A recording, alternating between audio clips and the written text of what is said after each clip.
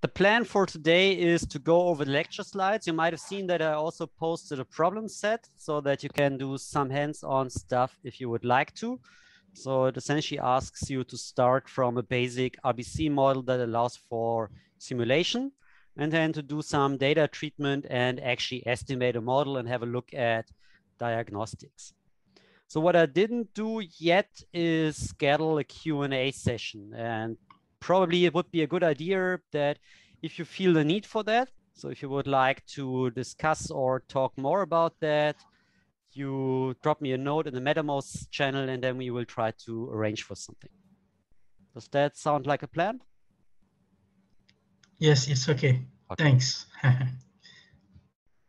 okay, so what I'm going to talk about is full information estimation of DSGE models.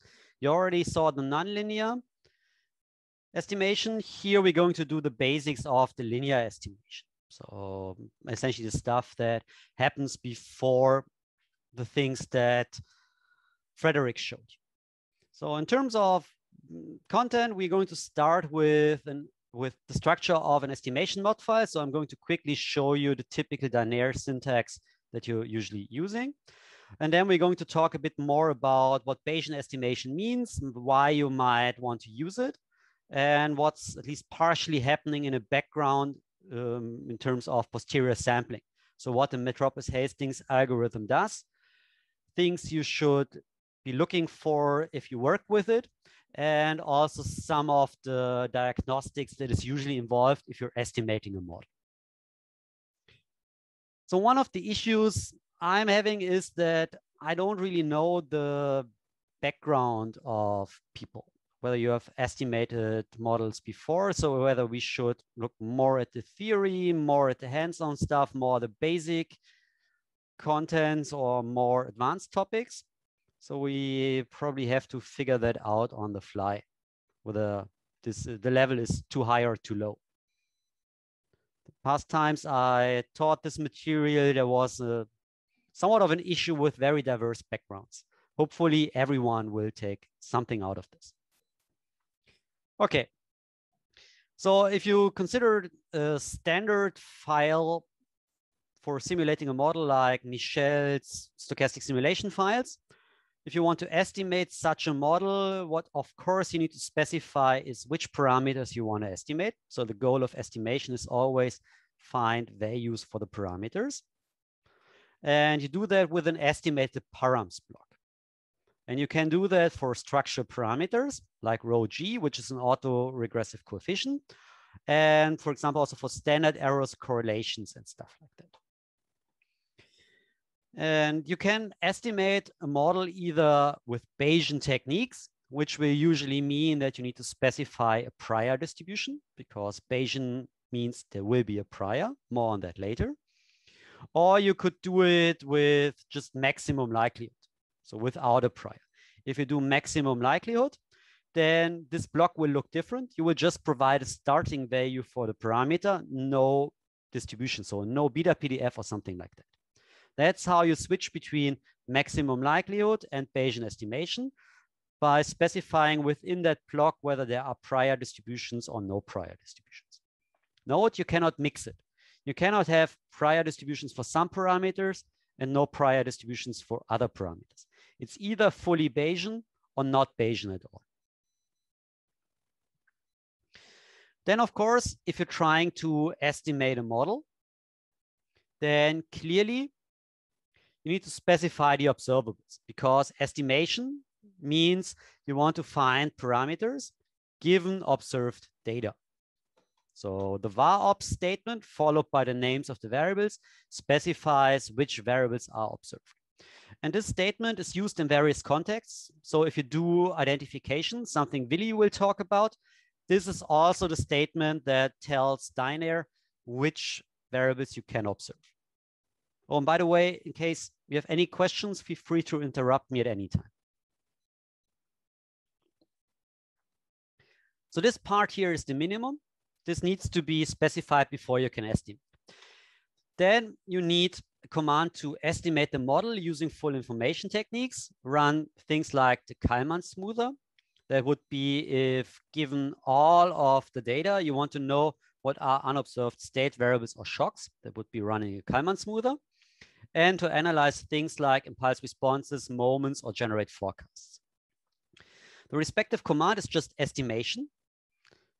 The required input is a data file. You need to tell the program what's the name of the file where the observables you just specified here are stored. So that is the minimum. And then you can provide various other options that are optional. So what I did here, I specified mode check. We will see plots like this. This is for checking whether the mode of your estimation truly is a mode. You should probably never run an estimation without that command. This here, mhreplic, specifies the number of replications in your chain. I will tell you or show you later on what that means. This here is the number of chains. We will also talk about that later on. And then the smoother command tells the program run the Kalman smoother. I don't know whether Michel already talked about that. Kalman filter and Kalman smoother. Yes, no, maybe.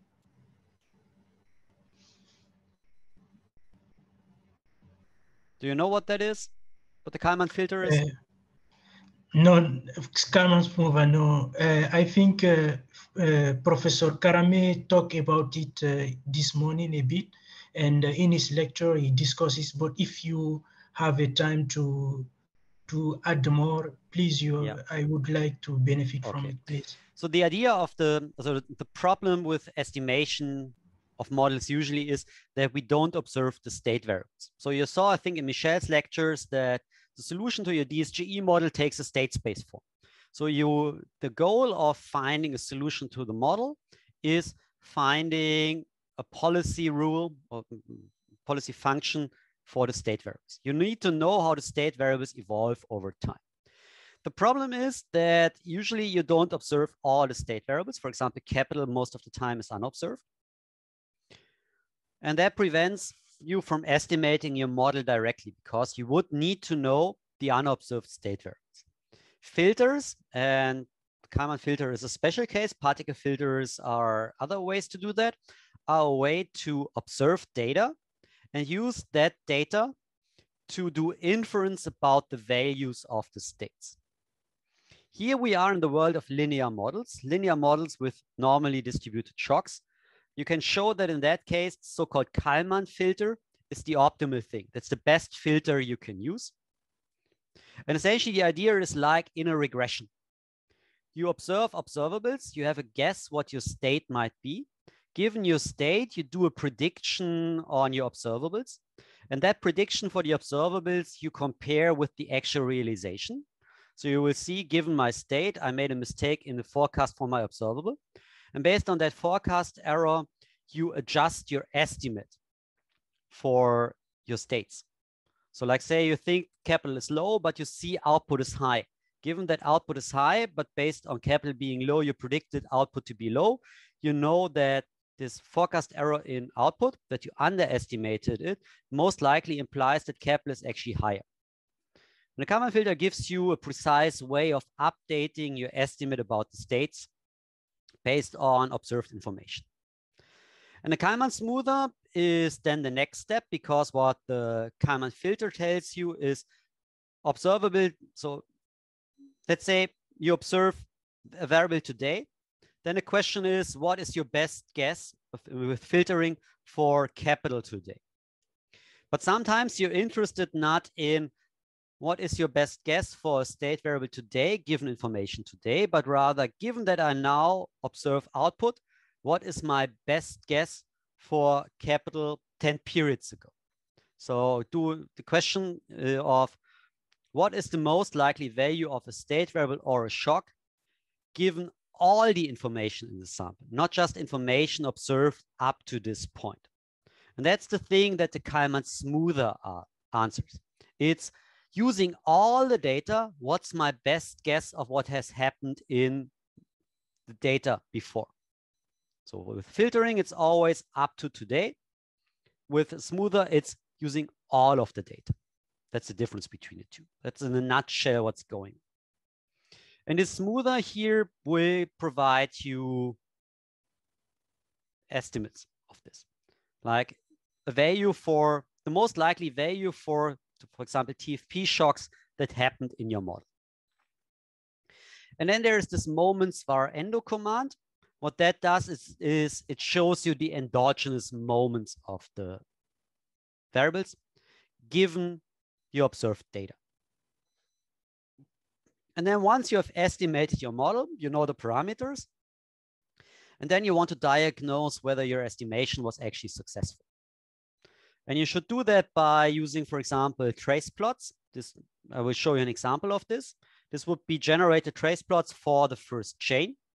And you can also have a look at the so-called autocorrelation functions of your Metropolis Hastings, where so you can look up the syntax, it's documented in the manual. Here it's show the evolution of the chain for the structural shock in chain one for the shock FC.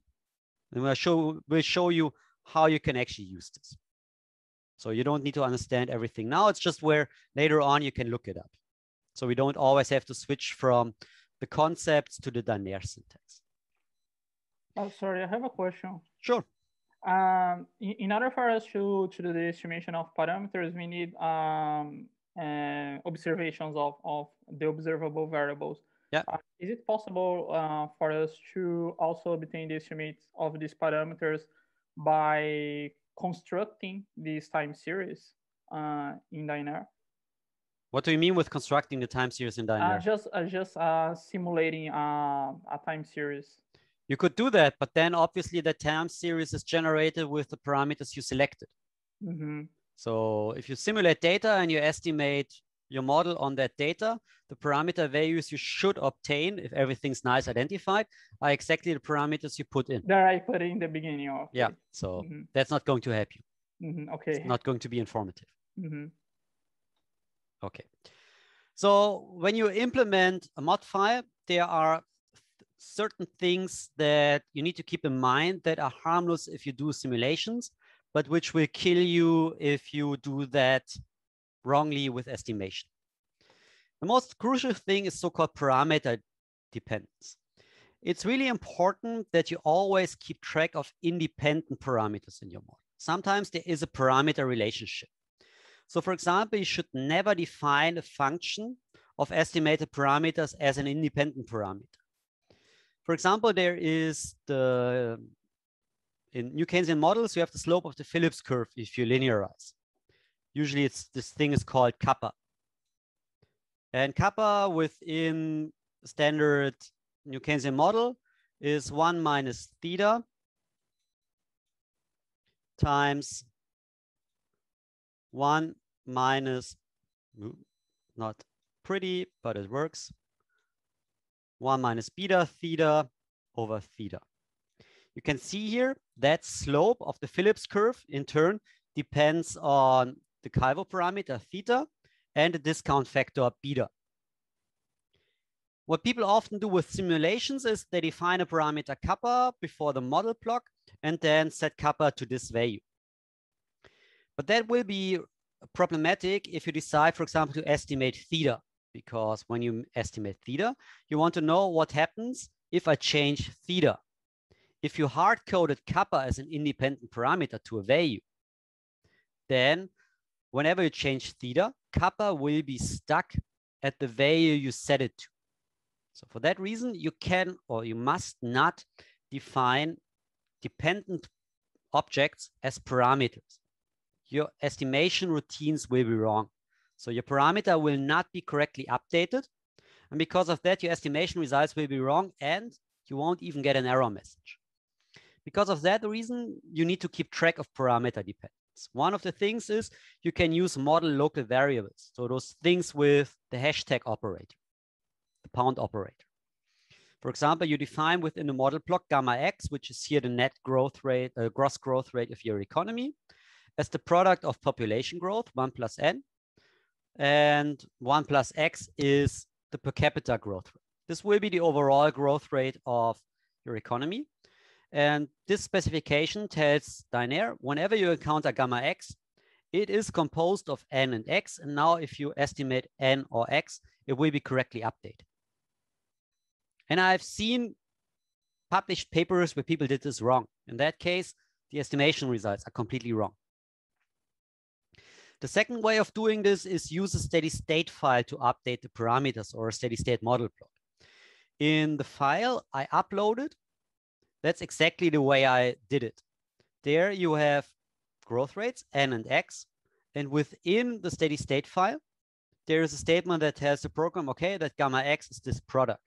In that case, also because whenever you update the parameters, the steady state needs to be recomputed. Dynare will recompute the steady state and update the parameters. So that's important to keep in mind. And because of this constraint or restriction for estimation, I always recommend you to, even if you just do simulations, to never define parameters or composite parameters as independent objects.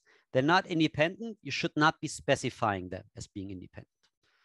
There are two questions. Please go ahead. Um, in the case of this uh, hashtag operator. Can you can you use it also for parameters that that are like uh, time dependent, or or is just uh, or they are fits also across time? Okay, so let's put it this way: if something is time varying, it's not a parameter. Well, as soon as there is a t index, it's not a parameter; it's a time varying object. It's called a variable. So this pound operator in terms of Dynare implementation is just text replacement. Whenever Dynare encounters gamma x, it's going to replace it by this thing, which means you can also use it for variables. I can show you an example, probably. So first of all, get rid of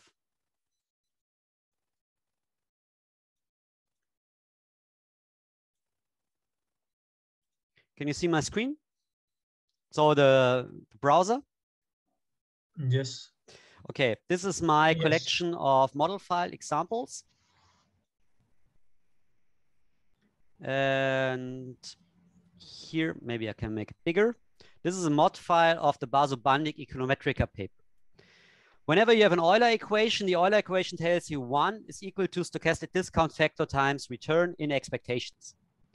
And of course, that stochastic discount factor can look pretty ugly, particularly if you have Epstein-Zinn preferences. What I did here is I defined a stochastic discount factor, so beta times the ratio of marginal utilities. Once with this pound operator, so m is the stochastic discount factor. And then whenever there is an Euler equation, like this one here, one needs to be equal to the expected return on bonds multiplied with stochastic discount factor, I use this m. And that is that's exactly what Lewis just asked. It replaces the variable. That's also something you can do. Does that answer your question? Mm, yes, yes, yes. That was indeed my question. But also, uh, in this case, what you are doing is basically not to introduce the this variable m in the uh, when you put like uh, bars, no? The, yeah. vari the variable name. That that is what you. Yeah, yeah. I, I, should also tell you why that is the case. Look at the look look at this expression. Yeah. The stochastic discount factor has stuff dated t plus one. Dynare's timing convention, I hope Michel told you this, is whenever there's something t plus one, or actually each single equation in stochastic context has conditional expectations around it. Right? You remember that? Yes, yes. This, yes. means m here, if this were an independent variable, would be defined as the expected value s of time t of this stuff. But in the Euler equation, the expected value is not on the stochastic discount factor, but the expected value is around everything. So the product of stochastic discount factor and return. If you had defined this as a separate variable, what you would have here is the expected value of the stochastic discount factor. And this is something very different than what we have here. Here, it's really the expected value of the product. If you define it as a separate variable, it's the product of the return times the expected value of the discount factor. And you can get around this timing convention by not defining it as a separate variable. Does that help? Yeah, yeah, it's indeed quite interesting. Yeah. Thank you very much. So whenever you do Epstein-Zinn, you actually need this. There's a second question. Okay, um, my question is related to, uh, for example, the gamma x you defined earlier. Yeah. Can we also define it in uh, in the uh, steady state block rather than using the? Uh, yeah, sure. Those are those two options are equivalent. Now the thing is, there are sometimes cases where I can show you another example. There are cases where you don't really have a steady state or not you don't have an explicit steady state file. So let's take standard New Keynesian model from Gali, chapter three. In this case, the model is linearized. So all steady states are zero. Usually here, you wouldn't even specify a steady state file. Or sometimes you have cases where you don't provide an analytical steady state, but rather just provide initial values. In all those cases, you cannot really use a steady state file because you won't be using it. There you need the hashtag operator. That's what I do here. Because there is no steady state model block or steady state file. But generally, those two things are equivalent. Further questions? Uh, sorry, it's, it, it is uh, something related to it. Can you explain us the purpose of long name and name, please? What are their purpose in the mod file, please? Oh, um, you mean the one I uploaded? Uh, no, the, just the name in the mod file. You might uh, sometimes you write name and you write the name of the equation. After that, you write long name equal Um, to Okay. Long name. For for example, yeah, here you wait a have loan second. name. I, I show you. Okay, thank you. Okay. Excuse me. Yeah. Um, in, in your previous example, the uh, the parameter kappa and theta, is it correct to only estimate kappa in the mod file and infer the the theta from the estimates of kappa? No. Generally, the answer is no because the, there are cross equation restrictions. The theta will potentially appear in other equations as well. And the program needs to know that if you change theta, it's going to affect other places. Now, there are cases where stuff only shows up in the form of kappa, nothing else. Then it's fair, it's fine to just estimate kappa if there is a one-to-one relationship. But often that is not feasible. Mm, okay, okay. Like in my small DSGE model, I only have the IS curve, NKPC, and the Taylor rule. So I, I I think that that's fair. Yeah, in those cases, if there's just this, um, actually it depends. If there's beta showing up somewhere else, then you might have a problem. Uh, like like like what problem? That, so I, okay. Uh, which screen are you currently looking at? Not MATLAB, okay. You can see this here. You have kappa. Kappa shows up in the Phillips curve, right? Mm-hmm. but beta enters kappa. So beta uh, enters the Phillips curve as well. Now lambda, oh, sorry, uh, take kappa here. Sorry, in my case, uh, the slope is lambda. This lambda is a function of theta and beta, and here even that omega. So there's a whole bunch of parameters. Forget about this omega here. Just say lambda consists of theta and beta. So if you observe lambda, you need to know at least beta in order to back out the theta. You can see here beta shows up. Because of that, Oh, you also need theta. You need to know theta. If you if this here allows you to estimate beta and you estimated lambda, you can back out the theta. The problem will show up if this theta shows up anywhere else in your model. So here in my case, this theta only shows up in this equation, nowhere else. So in this case, it would be harmless. You could back it out. But there are other cases where this parameter shows up somewhere else, and then you're in trouble. mhm. yeah, yeah, got it. Thank you. Okay. Okay, now someone has the question, what is the what's this and what's this, right? That's the question. Yes, it's it's that. Okay. Um, I show you. So this is the mod file I uploaded. And this mod file here is made ready for LaTeX output.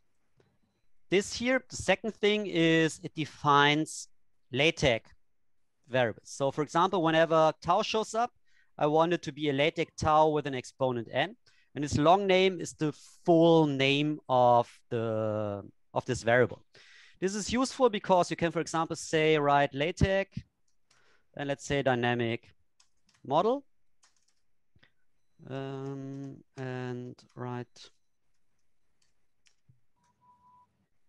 LaTeX, and I think it's called parameter table. And now execute this thing. Oh, wait a second. I should also do collect LaTeX files. Oh, sorry. And now execute this thing, RBC tags. Oh, in my case, define solution zero. Where is it complaining?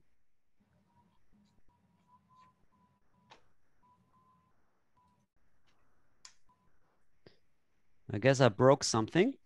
I don't know yet what I did, what I broke.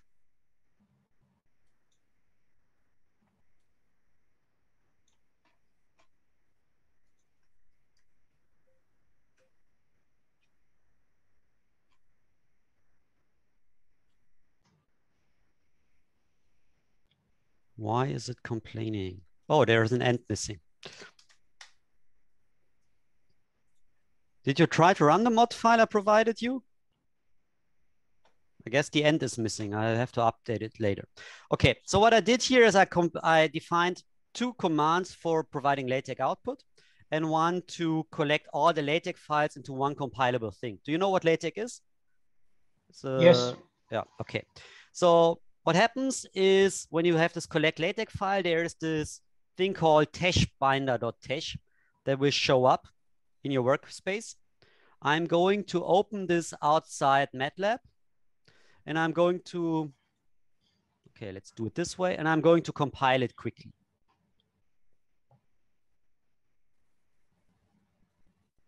It's going to take him a bit. Okay, and why doesn't it like me? This is the output you're going to get. This is my parameter table.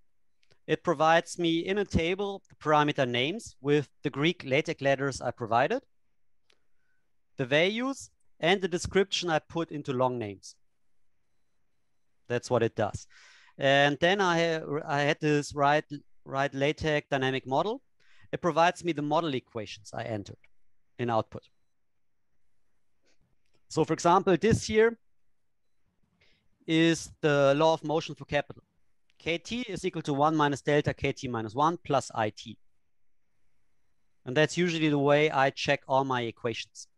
I hate checking codes. I do that with typeset LaTeX code.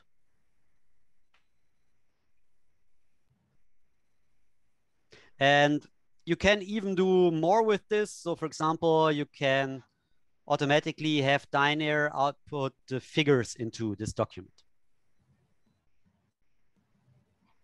Does that answer the question? It's not really related to estimation, but it shows you a very handy feature. Yes, yes. Thank you very much. You're welcome. Thank you very much. It was very helpful. Thank you. Anything else?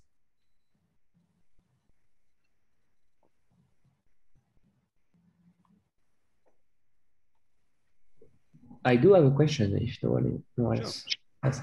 Um, so um, I don't really have a well-defined question, but um, I have um, I'm wondering like when you have um, variables in, in your observables that have a trend and you uh, typically what you would like to do is to put the model in a stationary form. So you would like to That's the, the next slide.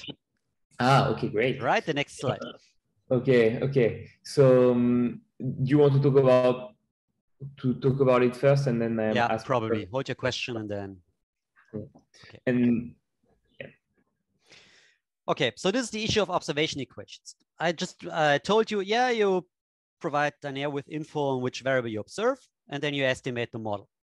But it's a bit more tricky because when you estimate a model, it's important that you provide a proper mapping from the variables in the model to the observed data. And often they will not coincide. So you have output. And usually the way you write your model down, this is output, let's say in percentage deviations from steady state, or at least from a balanced growth path. So the model variables are almost always stationary. They're not trending. While in the data, you observe trending GDP.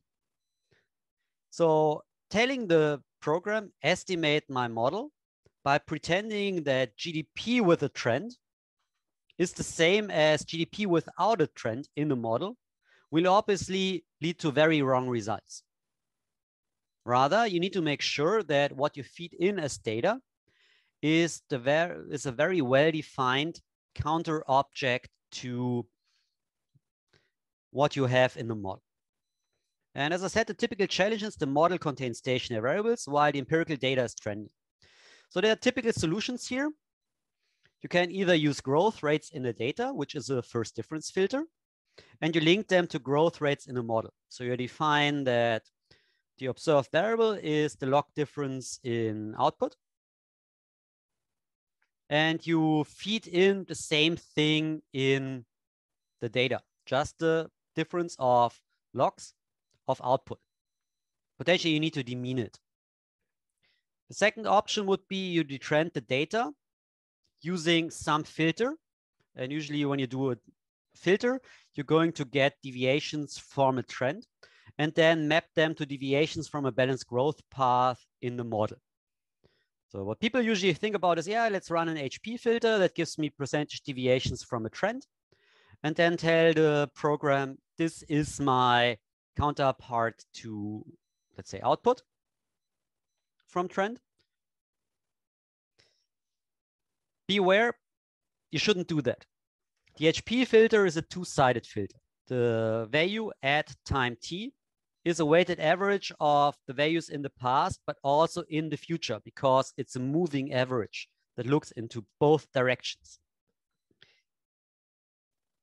Your model tells you, no, observables at time t are a function of just today's and past state variables. As soon as you use the HP filter in a two-sided way, you're using future information that the model and the decision makers do not have to construct estimate uh, to construct data values today.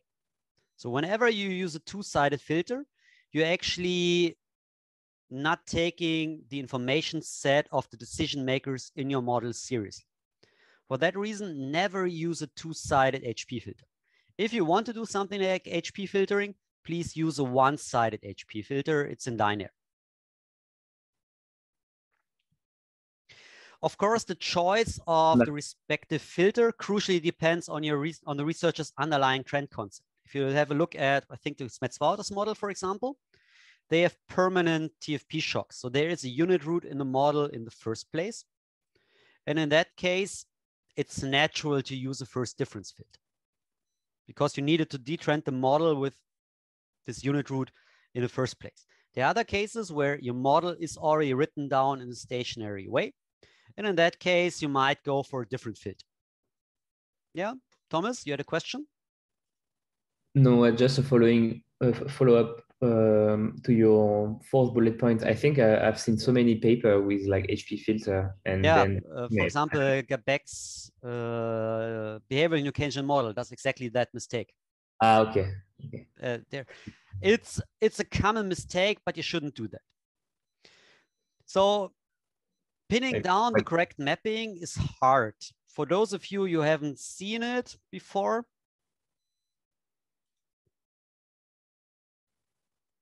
some time ago, I let's see whether that works.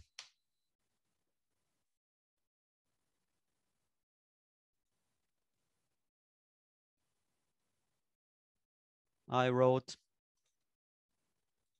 this paper. You might have seen it. And you can see it has 80 pages. It essentially looks at different ways of bringing your data to the model.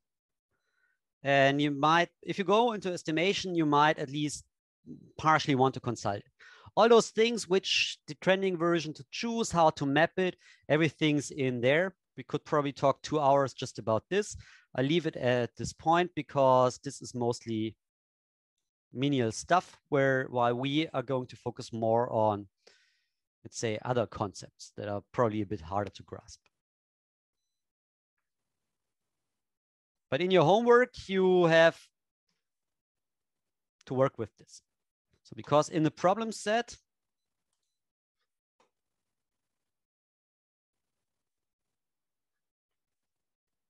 one of your tasks is actually to take the data and as it says here, it's per capita variables and tax rates. Per capita variables will have a trend. And your job here is to use first difference filter to map it to the data, uh, to the model variables. So both you have to treat the data, bring it into first differences and demean it. And you have to define within your model the demeaned first differences, map this, and then estimate your model. So that's your kind of your homework. Um, yeah, so so yeah. I, I wrote a document and um, uh, like some time ago, so it's really helpful. Um, otherwise, um, I I'm, I do have still a, the question like if I don't want to to have a trend in my um, shocks in my model, or like um, I don't want to have a trend, or I don't want to have a unit root, um, like I I want the model somehow or the estimation to tell me which uh, which shock is is the responsible for the trend. Um, for the trend, but you so need to, as a researcher, you mm. need to take a stand on where does the trend come from. Is it deterministic or is it stochastic? It's kind of what you have to do. If you want to be informed about the trend, you need to model it. If you just say, I don't care about the trend, I don't want to explain it, you just filter it out with a filter of your choice and you don't care about it. But as soon as you're trying to explain it, with a structural model, you need to model it. So then you're most of the time stuck with unit root with drift. I see. But um but like even like doing the the growth rate like you somehow even if you detrend uh, if you have a um, growth rate for your observable equation in your model and in your data you somehow still like explain this this positive growth consistently positive growth rate by by some particular shock. Yeah. And usually it's productivity or TFP. Yeah, because there's nothing else in that model that could do that. Yeah, so so I have a I have a model with like energy supply and and that could like lead also to like long-term growth when you have like increase in energy supply and that's why i don't really want i mean i kind of want the model to tell me like which one of the two is is uh, so the, the tricky issue is that those models usually don't imply a balanced growth path. Yeah, exactly. And in that case, doing a linear approximation to such a model will be horribly wrong. Yes, yeah, so mind, we are doing this linearly here. Yeah. So estimating that model with full information methods might be incredibly hard The model you have in mind. You're, you're so far from steady state, and uh, and so that's why. At some point, you will move arbitrarily far away. So, first thing is even does it have a steady state? And then the second thing is if there is this trend, it will move arbitrarily far away from it. And that will make it extremely hard because you need to have a solution technique that works. And then even if you have a solution technique that works, usually the solution is not linear. And in that case, you need to have a particle filter and then things become really tricky that's that's kind of what why i'm here. It's yeah. learning particle filtering uh, all that data. Okay great. Thank you very much for you're welcome. Okay then we have someone asking whether we can have an example of Bayesian estimation of essentially a uh, heterogeneous agent model using the Winberry toolkit and the answer is no. That would be way too complicated for summer school. And also probably depending on what you have in mind, even too challenging for Dynare because you, so uh, my co-author Benjamin Born has this paper where they estimate Smets-Wouters model in a heterogeneous agent version. And in that case, you have around a thousand equations. You do not want to do that in MATLAB. You would like to use Julia, most probably. Julia or Fortran or something like that.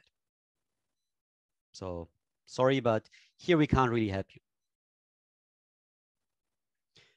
In principle, the idea is conceptually simple. So once you have the stationary equilibrium, you enter that into Dynare, which is the hard part. And then estimating it in principle is straightforward because you then have a linear approximation to the laws of motion up to first order. And then everything else goes exactly the same way as we do standard estimation. That is not the hard part. The hard part is to make this run efficiently and solve the heterogeneous solve for the stationary equilibrium of the heterogeneous agent model, which is also not something you can do in Dynare. So the Dynare part of this is easy. The hard part is actually the, the Winberry toolkit, and that is not something we support here. Other questions?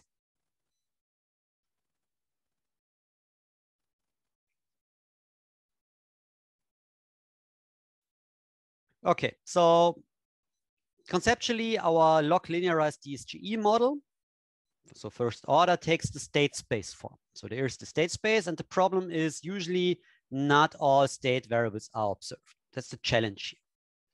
Usually our solution to this is use the Kalman filter. It will deal with the unobserved states. So given your observables, it will give you the best estimate of your unobserved states. And because it also gives you the one step ahead forecast errors, it allows you to construct the likelihood function. So you can write down the likelihood of your DSGE model. So this is the result that you get from the Kalman filter, the likelihood of observing your data. So y capital T is all the data you observe up to time t, given theta, where theta is our vector of parameters, and this yt is the complete history of observables. And usually what you learn in econometrics is the maximum likelihood estimation. What you do there is you try to find the parameters theta that maximize this likelihood function. So you often do that brute force. You take a solver or a maximizer, minimizer, and you try to find this theta that maximizes the likelihood of, of, of observing your data by maximizing this over the parameter. What people nowadays use is they do Bayesian estimation. Why? Because this likelihood or doing maximum likelihood is most of the times infeasible. Why? Because this likelihood tends to be quite a high dimensional object. So what I show you here is a likelihood from an RBC model where I just estimated two parameters. Sigma Z, the volatility of a TFP shock, and rho Z, its autocorrelation.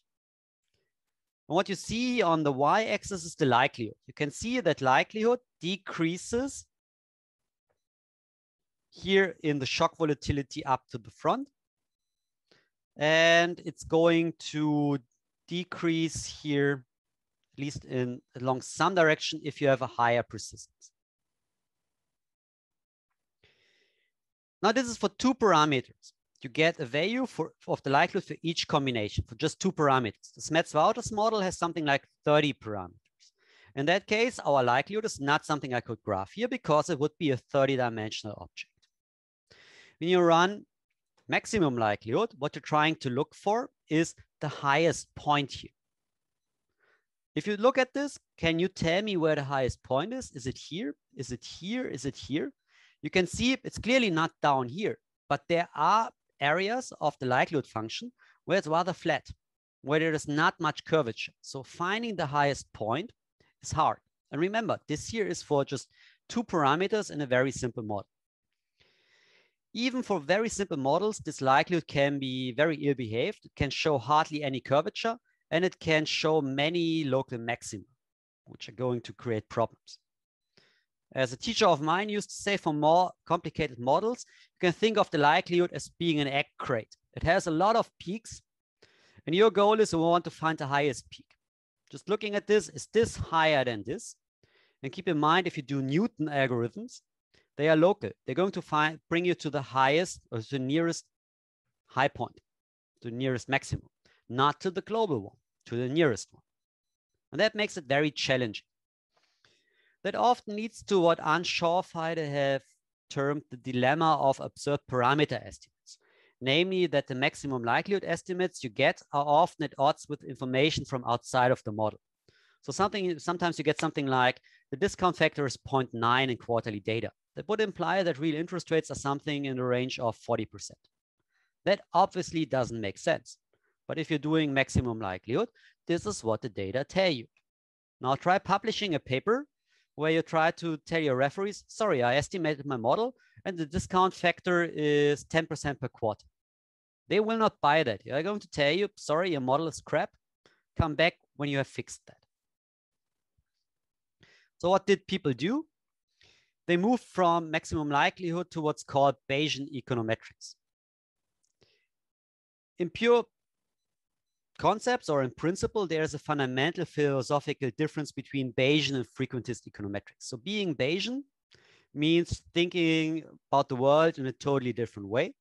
And there are very good reasons to be Bayesian. There are a lot of books on that. Most macroeconomists are actually not Bayesian believers, but rather they're pragmatists. We, most of us actually use Bayesian me methods because they simply work. They allow us publishing papers. That's not the way the world should work, but it's the way the world does work. And it even goes up to the point that people use Bayesian and frequentist techniques in the same paper, which actually uh, in principle is a no-go, but it happens. That shows you that usually we're very pragmatic. Why do we do this? Adopting Bayesian techniques makes our lives easier. Historically, Bayesians were in the minority. Why? Because computing power was just not sufficient to apply their methods.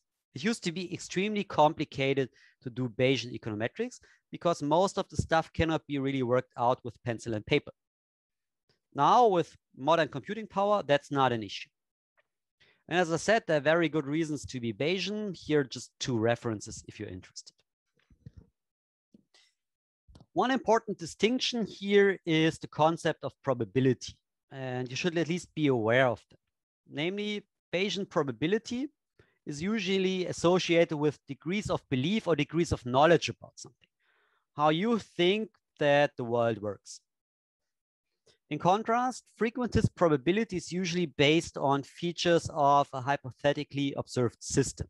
Usually what you're talking about there is the relative frequency of events in the long run. So when you talk about null hypothesis testing, you usually say, yeah, that's the likelihood of observing an event like this if I repeated that experiment infinitely often. Does that sound familiar from statistics? Statistics 101? Yes. yeah. But then a Bayesian would usually say, yeah, but we don't care about that. We just have one world we have one, one set of observations. We can't really run that experiment forever. Why should I care about that? So if you look at the statement of there's a 50% probability that a fair coin will land heads instead of tails, then what the Bayesian essentially says, he believes or his beliefs are evenly divided between those two outcomes. While the frequentist says, yeah, if I could flip that coin infinitely often, then it would land on heads 50% of the times. Because of that, frequentist analysis is limited to inference about the relative frequencies of events in the long run. And as I said, this long run is unobservable and not in the interest of researchers' actual interests. And the life of Bayesians is a lot easier because you can, can apply probabilities to anything that can be the subject of belief or knowledge. You can do that for hypothesis. You can do it for statistical parameters, or even you can test full models. If you want to compare models, for frequentists, that's hard. If the models are not nested, you cannot even do a likelihood ratio test. For Bayesians, that's straightforward. Do Bayesian model comparison. That's very easy. So the main difference, yeah. Um, so you kind of um, embed in the Bayesian approach the, the idea also that the um, the parameter could be time varying. And so somehow you have a distribution. Uh, I mean, your distribution or your posterior distribution of the parameter somehow. But it's not time varying. It's, it's not, and it's stochastic. It's, uh, stochastic, yeah. That's what we're doing now, this conditioning set. What's the difference between the two? And then you can come back to it. So what frequentists do is they estimate a sampling distribution for a parameter. Remember, if you're a frequentist, there is a true parameter out there. And all the statements that you do is about your estimate. It's not about, it's not a statement about a true parameter, but rather this thing you use to estimate. And that is not what we care about. We actually care about the true value of the parameter, but we can't really say something about that because all our statements about, are about the estimator. So the distribution here would simulate the observed effect if you had an experiment repeated an infinite number of times where only your sampling error affects the results. And then you're asking, okay, what should I observe in terms of my estimate? And in that case, the data are the things that carry the uncertainty via the sampling distribution. The parameter has a fixed true population value. And what you typically do is you condition on the parameter. You look at the probability of observing your data given the true parameter you're not really making statements about the parameter, you're making statements about the data. And if I want to estimate a parameter, that's not really what I'm interested in. And similarly, if you do this null hypothesis significance test, it usually involves testing a hypothesis we don't believe in because we always want to reject the null. We say, oh, the null hypothesis, the parameter is zero. So we're testing a hypothesis we don't really believe because we think that it is not zero. And, and in that case, your p-value gives the probability of an effect, assuming that the null is true. But usually the null won't be true, and that's what we actually hope for. So we rely on, rely on hypothetically repeating an experiment that never occurred. Because conceptually you say, oh, null is true, and then what would happen if we do that infinitely often? But because we test this and we want to reject the null, we actually think, no, the parameter is not true. But we nevertheless proceed under the fiction that this non-event had occurred infinitely often. What you can see is already kind of absurd. In contrast, if you're Bayesian, you make direct probabilistic statements about effects and parameters based on observed data. Usually you have statements about the parameter itself. You treat your parameter as being random or uncertain while you condition on the data. You take the data set as fixed, and this is different from frequentists. Frequentists say, oh, the parameter is fixed, so what about sampling the data? While Bayesians do it differently. They say, we condition on the data, I observe my data. What can I say in terms of probability distributions about my parameters? I hope that distinction becomes at least somewhat clear. And now we dive right into the Bayesian stuff.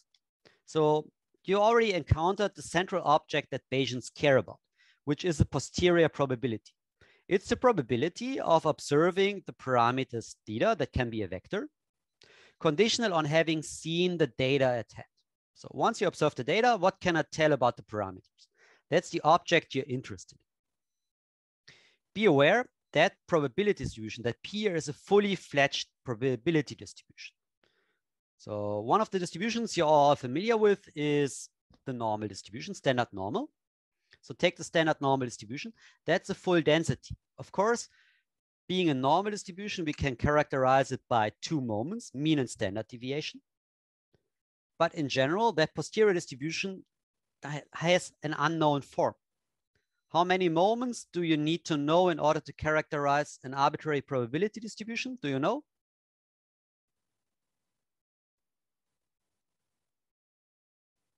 Say, can you repeat the question? You want you you have a probability distribution. You don't know which it is. How many moments do you need to know in order to fully characterize that distribution? Infinite. Yeah.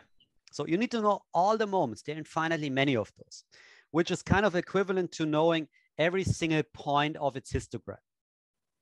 So, and that is hard. You're dealing here with an object that is in principle infinite dimensional because you don't really know much about it.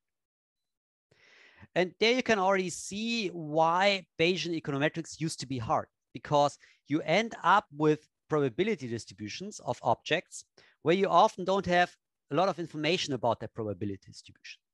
You need to work with stuff that is incredibly hard to characterize. We will come back to that. Of course, if you know the probability distribution, it's going to allow you very neat statements, like a regression indicates that with 90% probability, the fiscal multiplier is within, with, between 0.3 and 1.5. Note, you make a direct statement about an effect. You're not making a statement about an estimator, like my estimator, if the null is true, is going to fall in that range. No, I'm making a statement about the true estimate or the true parameter, direct probability statement. That's what you're going to get here. Null hypothesis significance testing is not going to give you any like anything like this. Okay. Everything, everyone with me so far? That's the deepest we're going to get into philosophy.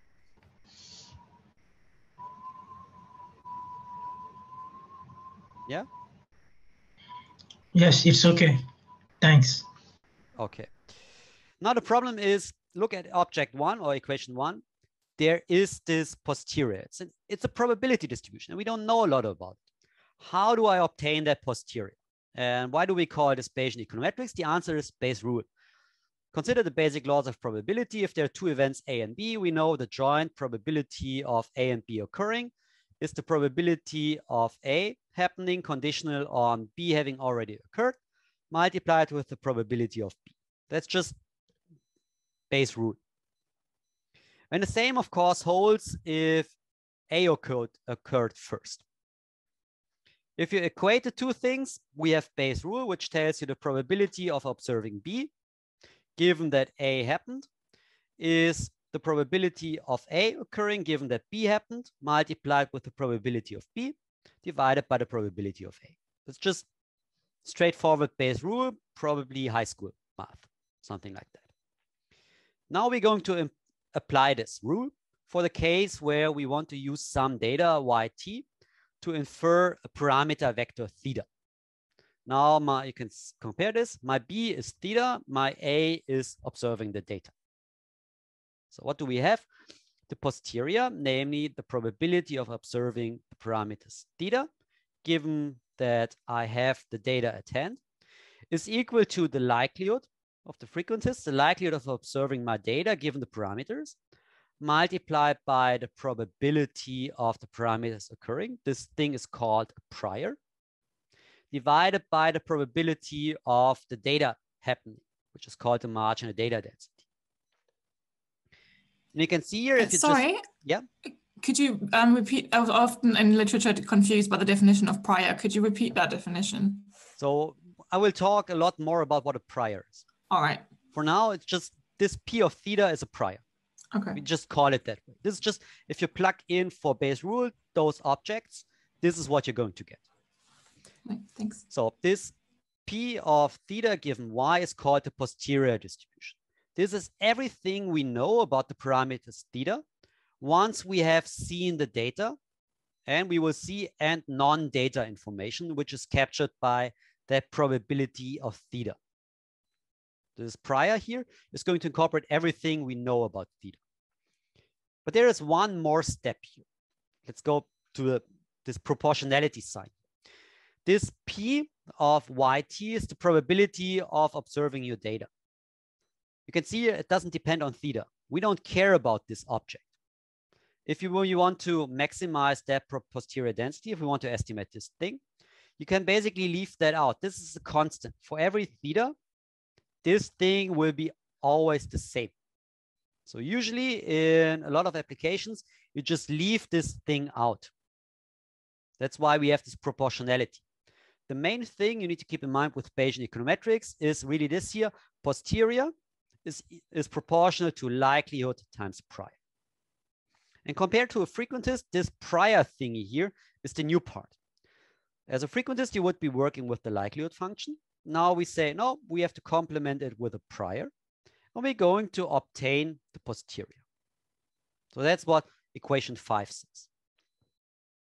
So now look at the prior. What is this prior? This P of theta is the so-called prior distribution.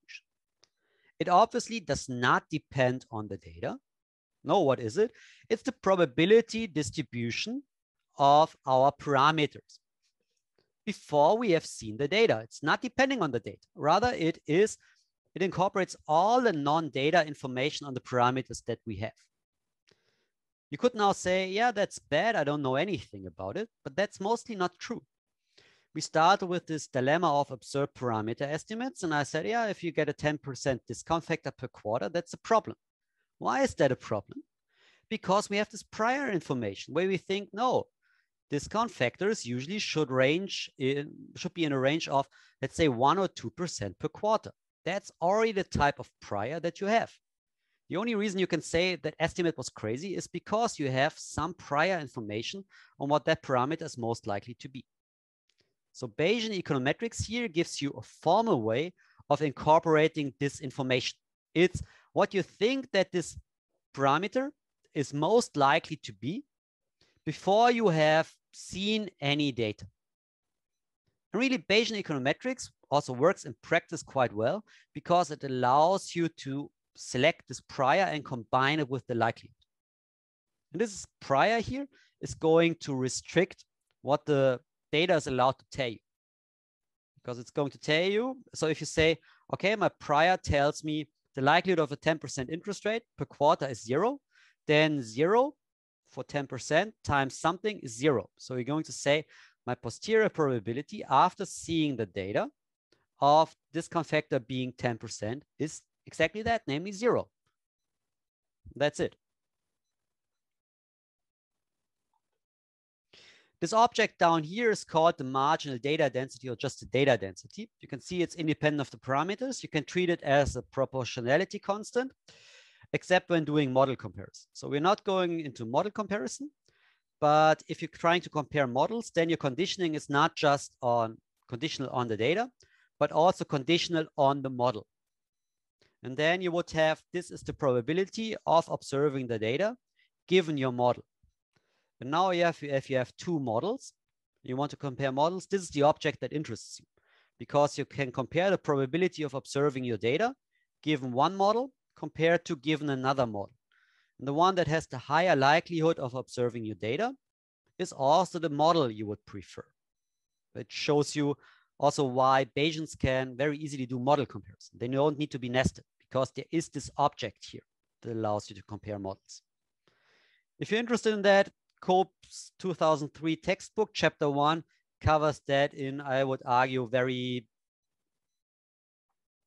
let's say, intelligible or uh, accessible ways. Okay, and as I said, the thing you need to keep in mind is this equation says posterior is proportional to likelihood times prior.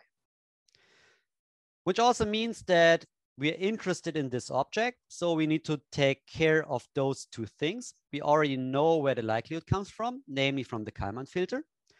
What we're going to have to specify is how do I evaluate that object and what about the prior? So why if, as I told you, there are so there are many advantages of doing Bayesian estimation. Why did that only become popular within the last, let's say 15 years? And the answer is the computing power was just not sufficient to apply it. Why? You can see here, this posterior is a full probability distribution. And we don't know anything about it generally. So it's often not analytically tractable. So, and I told you for an unknown probability distribution, in principle, you would need to know infinitely many moments. You could say, okay, let's do it like a normal distribution. I only care about the first two moments. Like macroeconomists often do. We usually look at second moments of our data, and that's pretty much it. But even in that case, if you just look at the first two moments, the expected value of the parameters, given the data, that's an integral. And it's an integral with respect to a density. You don't really, you're not able to characterize. If you look at the second moments, the variance of your parameters given theta, so you want to construct confidence bounds, or actually credible sets, more on that later. You again, you need to solve an integral. Working out integrals of unknown densities is incredibly hard with pencil and paper. So you need to rely on a computer. So that's where you need to need to know the computer. You need to use the computer. And there is a kind of a straightforward way to do this. Usually we're interested in integrals of that form. You have some function of the parameter and you want to have the expected value, so the average. So the integral is hard to do. What can you do? If you had IID draws from the posterior, so you don't know the density, but you're able to sample from it. So essentially, you don't really know how, let's take the normal distribution. You don't know the formula for the Gaussian bell curve, but for some reason you have access to MATLAB's random number generator. You can draw random numbers from the normal distribution, although you have no clue how that distribution actually looks like to evaluate its density. If you don't know the formula of the normal distribution, you can't do equation eight. But if you have random numbers, you can do equation nine, basically by saying, okay, draw the random numbers, evaluate that G and take the average. Essentially, this is called, or this is called Monte Carlo integration. You replace the integral by an average over draws. So you have replaced the integral by a sum.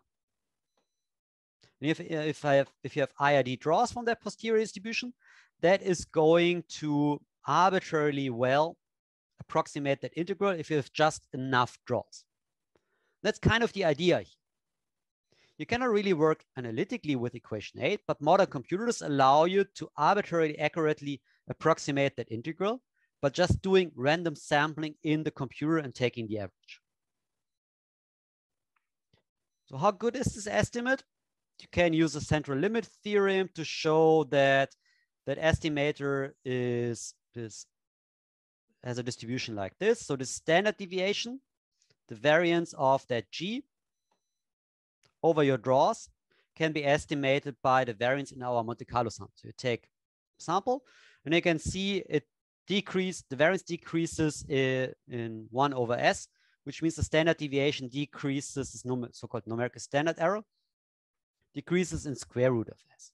If you have four times as many draws, your precision will double, which also tells you that for arbitrary accuracy, you need really a lot of draws.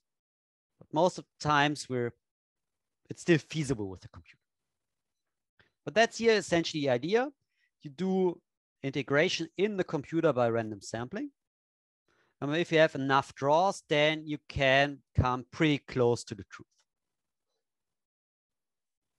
Okay, is that at least that idea so far clear? Of course, we still don't know how to sample, uh, how to do those random draws. But if you had those draws, taking the average is a very easy way of approximating the, the expected value. Any questions so far?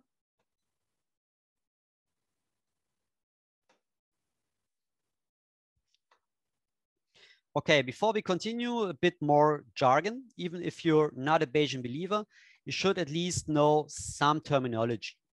And the first thing you need to know is what's called a credible set.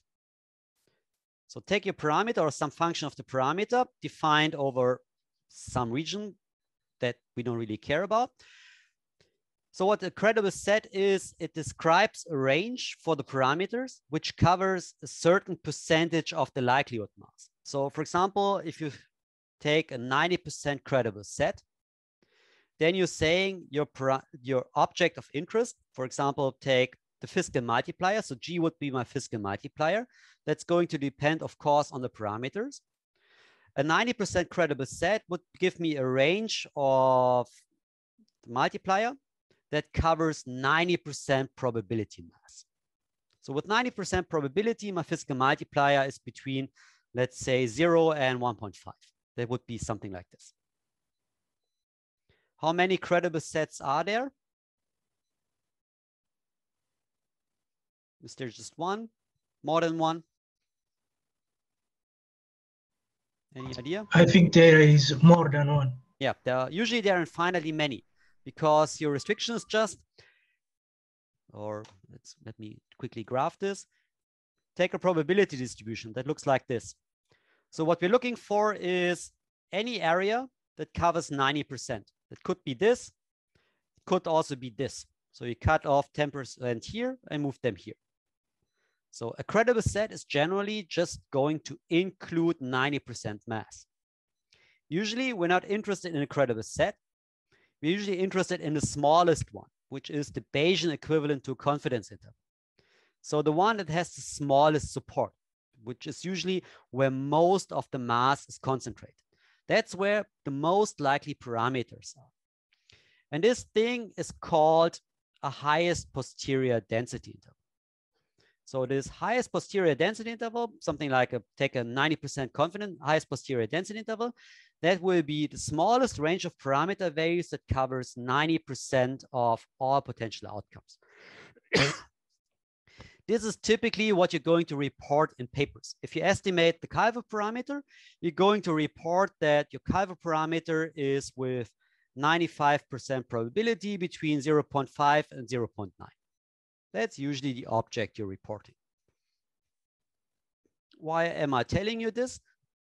Because if you write a paper with Bayesian techniques, you must not call it a confidence interval. It's not a confidence interval. A confidence interval would be about your estimate. It would not be about the true Calvo parameter. As soon as you write confidence interval, every referee will immediately know you have no clue what you're talking about. So be aware of that. The terminology is different and you should signal that you know what you're talking about. Otherwise, people will not take you serious. Also, I've re re refereed countless papers where people say, oh, I'm reporting a credible set. No, usually you're reporting just one credible set, namely the highest posterior density interval because there are infinitely many credible sets usually, and you didn't really tell me which one of those you're reporting because you have just one number or one set of numbers in your paper. Okay, so moving on, problems everywhere. I told you that we want to do Monte Carlo integration, but there's a problem. How to get draws from an intractable distribution. If I tell you the distribution is normal, you know, oh, go to MATLAB, use rand-n, that will simulate numbers from a standard normal distribution. You can do that. But what if that distribution, my posterior distribution, is unknown? I don't know anything about it. How can I sample from? And this is where so-called posterior sampling algorithms come in. Those are ways of constructing draws from an unknown distribution. They allow you to draw from that distribution, although you don't really know what type of distribution it is. There are three important ones. There's so-called importance sampling, there's Gibbs sampling, and there's the Metropolis-Hastings algorithm. If you're doing time-varying Bayesian VARs, you will most of the times encounter Gibbs sampling in the context of DSGE models, you're mostly working with Metropolis Hastings algorithms. And here we will only focus on the last one. The Gibbs sampler is actually a special case of the last one. Importance sampling is extremely efficient, but most of the times you cannot really apply it because you need to know quite a bit about the target distribution posterior. Most of the times we don't really know that. Okay, one more complication. Ideally, you would like to do Monte Carlo integration. You want to have IID draws. Why do you want to have IID draws? Because each single new draw is going to provide you with a lot of information or with a lot of new information in your parameter.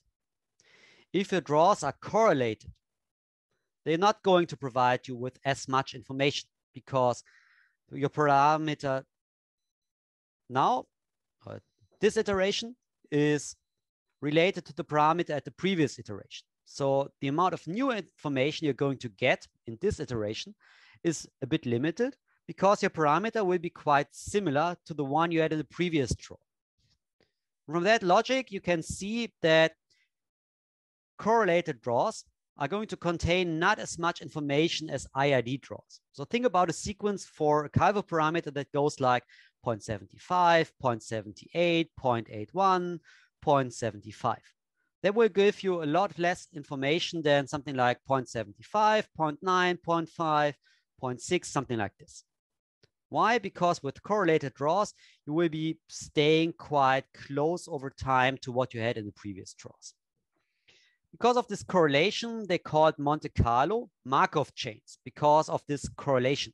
They are Markov chains. The draw you had today is going to depend on the previous draw. There will be a source of inefficiency. Ideally, you would have would like to have independent draws, but most of the times you will not be able to get those. And that is important to keep in mind if you do diagnostics. We will return to this. Okay, everyone with me so far? Questions?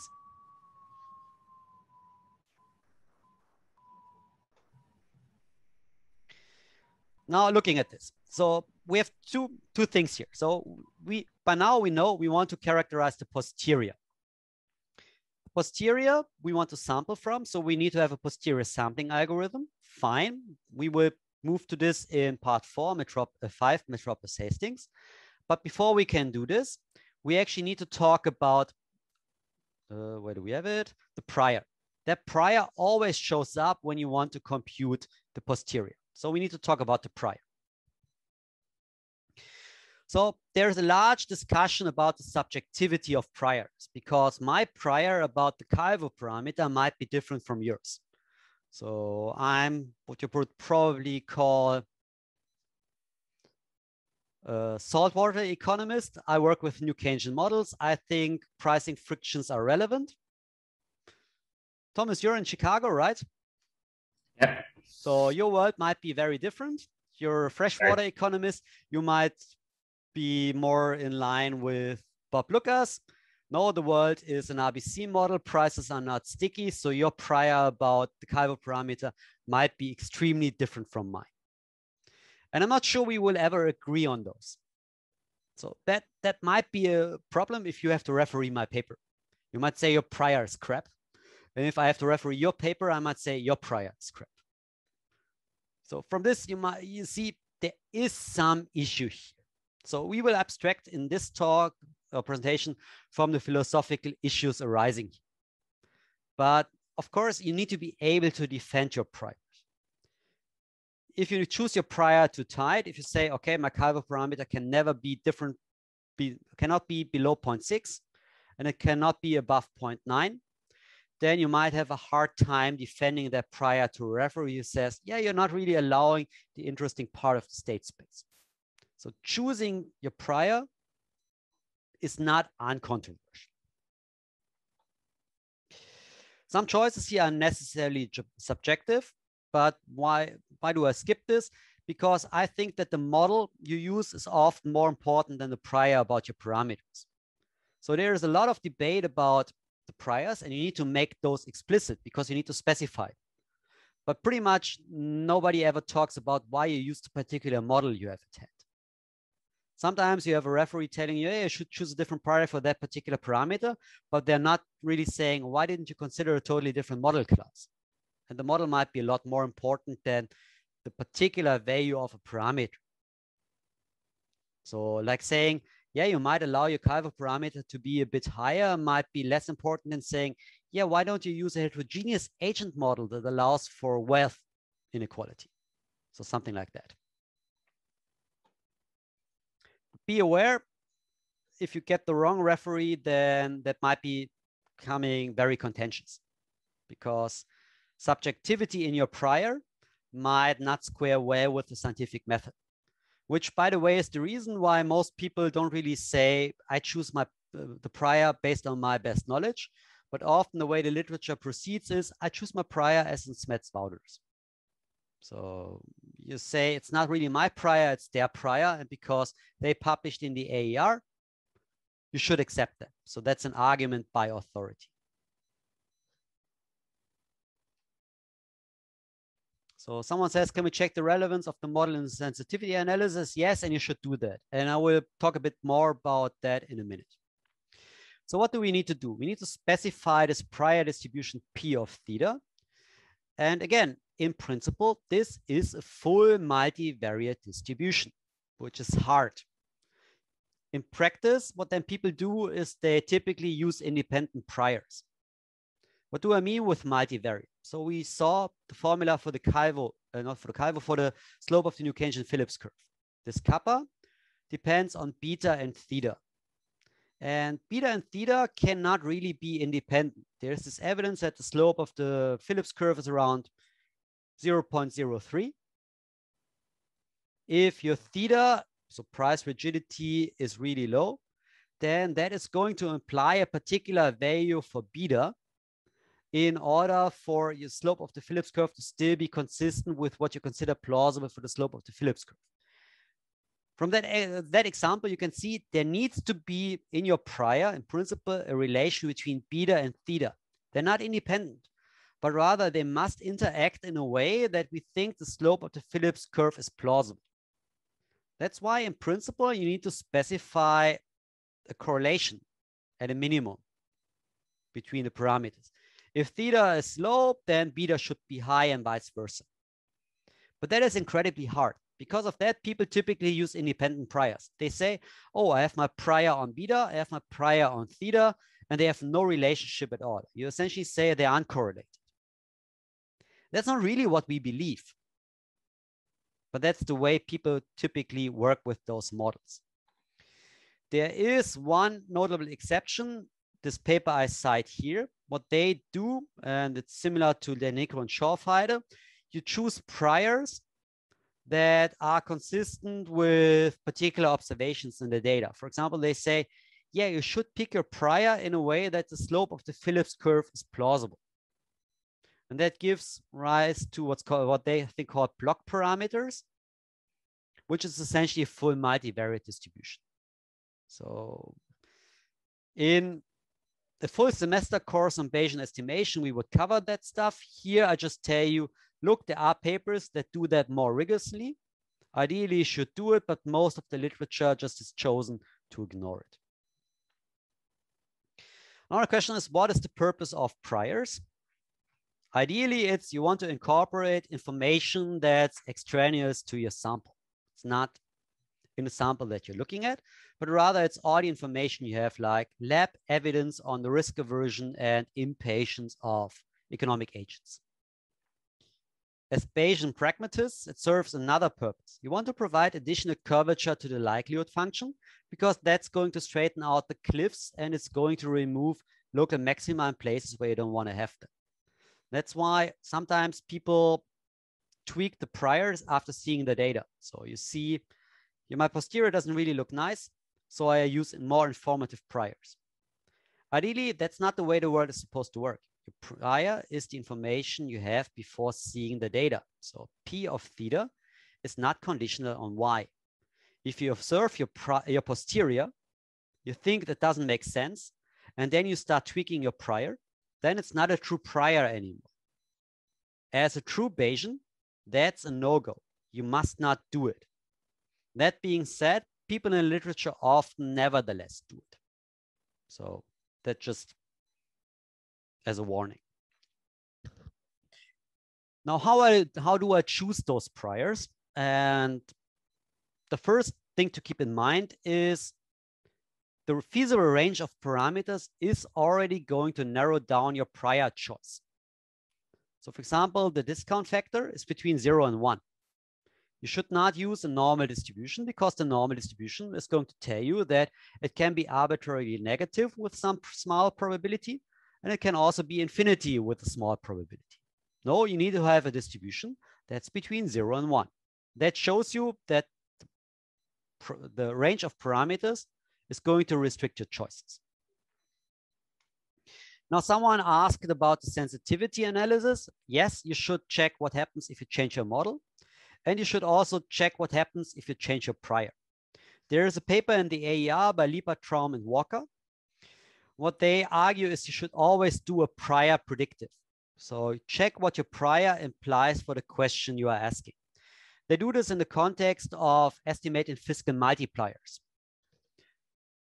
And there had been a huge literature on models, on estimated DSGE models looking at fiscal multipliers. Are they bigger than one or not? And what they here do is they say, okay, choose your standard prior, sample from the prior and see whether your model, given the prior even allows for, let's say, a multiplier bigger than one. Because there was always this issue, is the multi, is government spending self-financing? So big, multiplier bigger than one. What they argue is no, most models don't even allow for getting a multiplier bigger than one because the prior range is too small.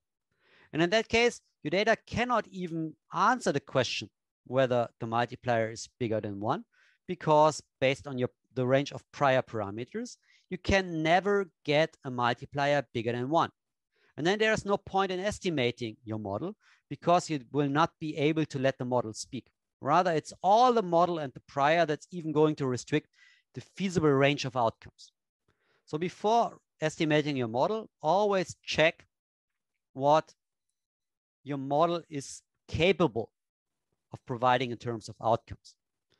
Because what your posterior is going to do, it's going to narrow the range down. Anything you can consider impossible based on your prior and your model will not be feasible in the posterior as well. Okay. Questions so far?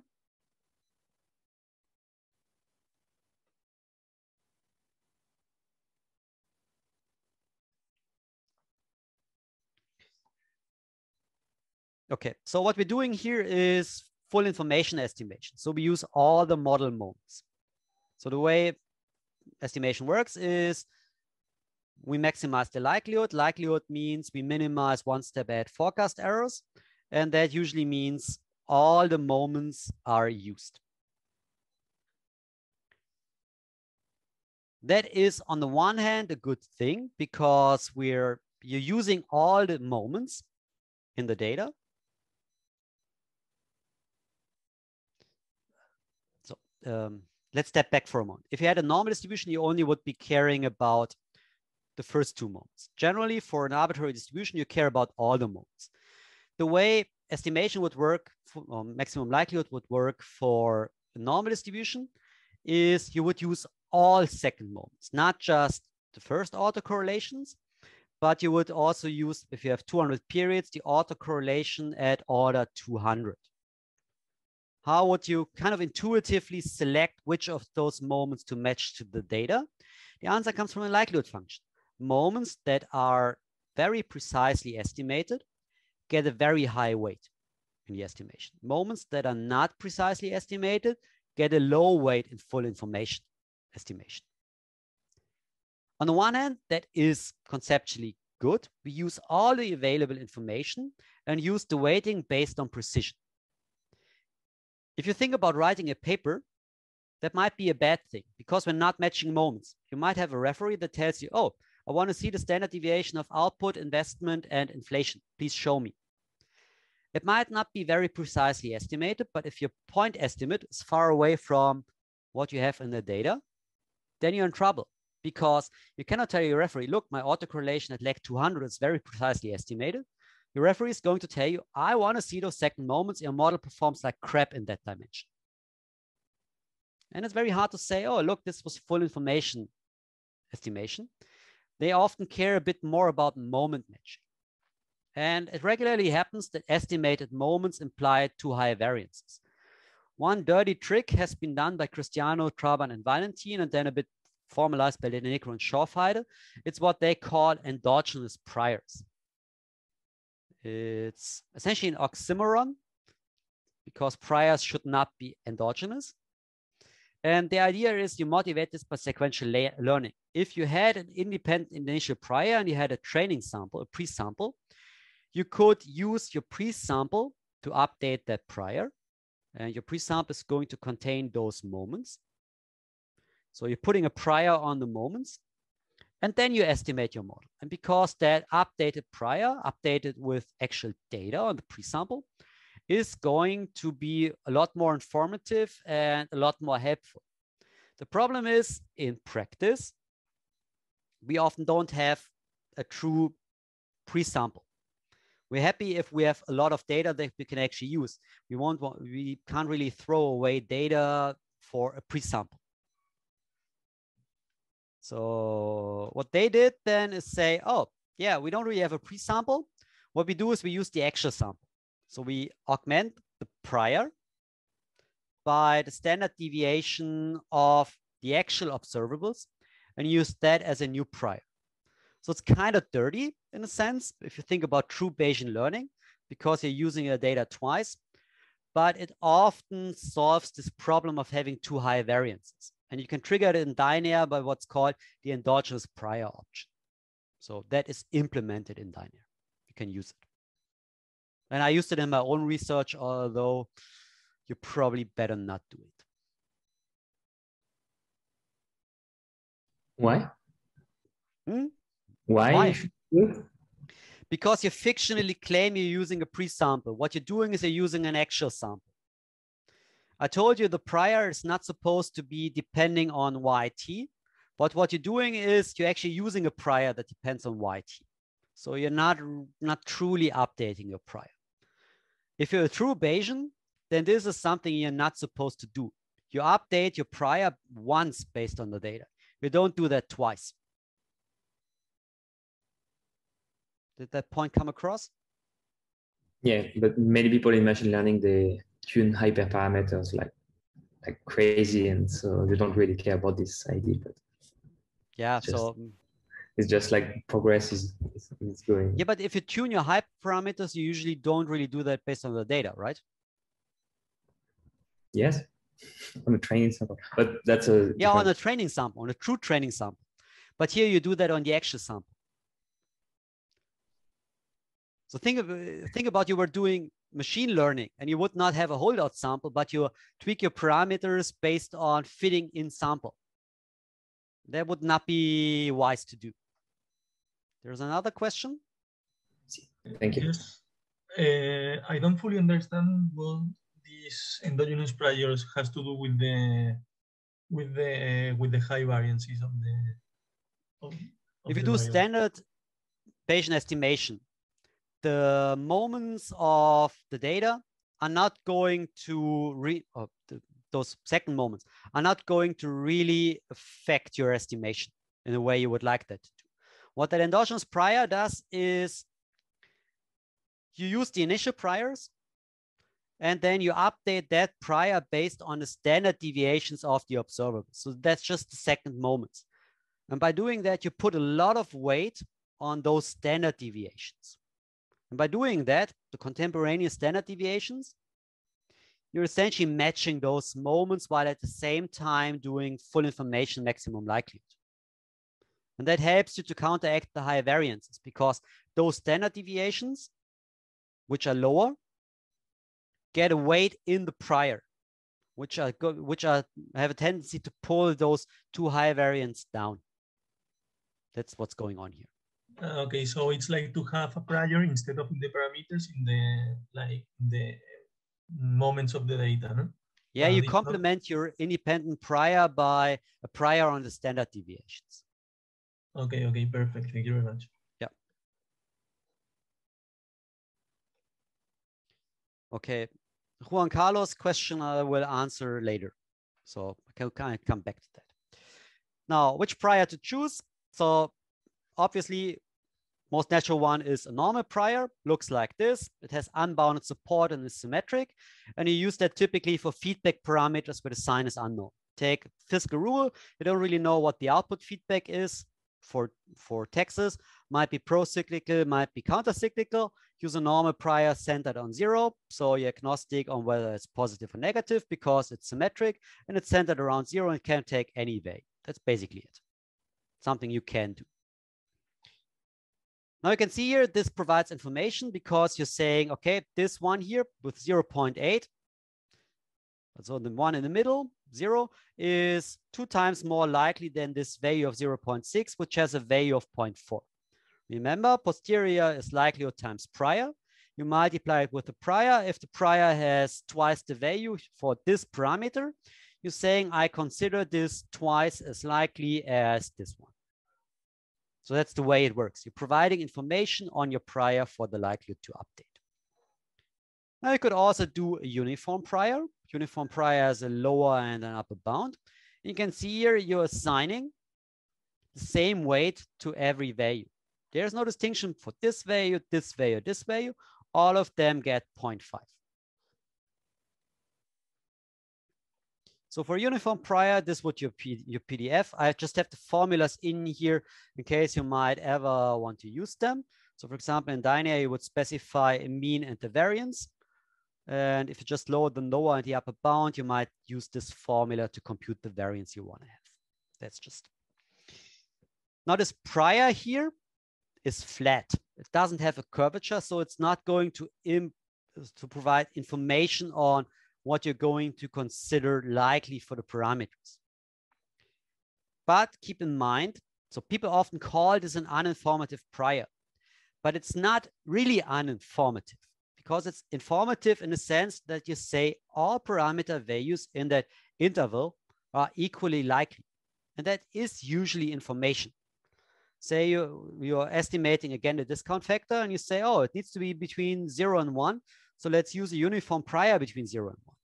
In that case, you're going to say, oh, it's as likely to be zero as it's likely to be 0.99. That's taking a stand and probably a crazy stand. One caveat, if you have bounds at infinity, your prior is improper. Why? It has infinite bounds. And essentially a high, sorry, here a height of zero.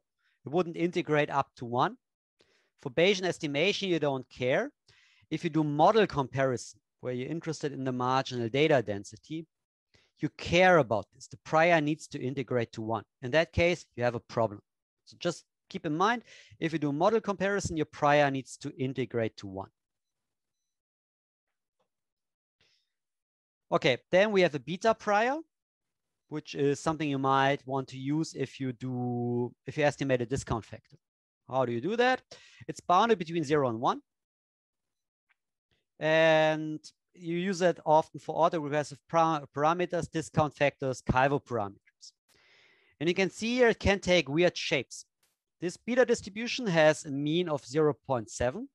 And the first one has standard deviation of 0.1. So it's nice hump shape, looks a bit like a normal. And the second one has a standard deviation of 0.4. So keep in mind, usually we think about normal distributions. Oh, if I increase the variance, it becomes just more diffuse. So it's more uninformative.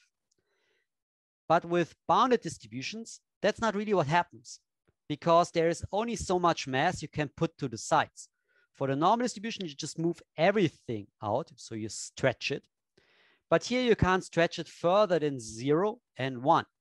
So if you crank up the standard deviation, the only points where the probability mass can go is zero and one. And that's what's happening here. You, you, you might argue, yeah, I make my prior more diffuse, diffuse by increasing the standard deviation. But what you're actually saying is, oh, I'm putting an incredible weight on my parameter to be equal to one and to be equal to zero. And I put hardly any weight on the mean. That is something to keep in mind. You should always plot your prior distribution. There's one paper in the AER with around 900 citations that slightly modified the Smets-Wouters prior on the Calvo parameter where if you plot it, it looks like this. They're essentially saying, I think my Calvo parameter is either zero or one with a high probability. And that's clearly not how the world works. So always plot your prior. Particularly beta distributions can have very weird shapes. Yep. Which paper is it? Uh, I'd rather not tell. Okay. because I I can tell you later on Mattermost, but if the video goes online, it's probably better not to spill the beans here too much. But I will potentially be thrashing a couple of other papers later on. Okay, as I said, it's between zero and one, but you can scale it. It's called a generalized distribution. Dynare allows for it. And it's relatively flexible in terms of shape. You need to be a bit careful. I already told you this. So always plot your prior. Then you have cases where parameters are between zero and infinity. And in that case, you can use a gamma distribution. You can see it's either single peaked or monotonically uh, or hump shaped or monotonically decreasing. You can pick a cho uh, choice here and zero is included.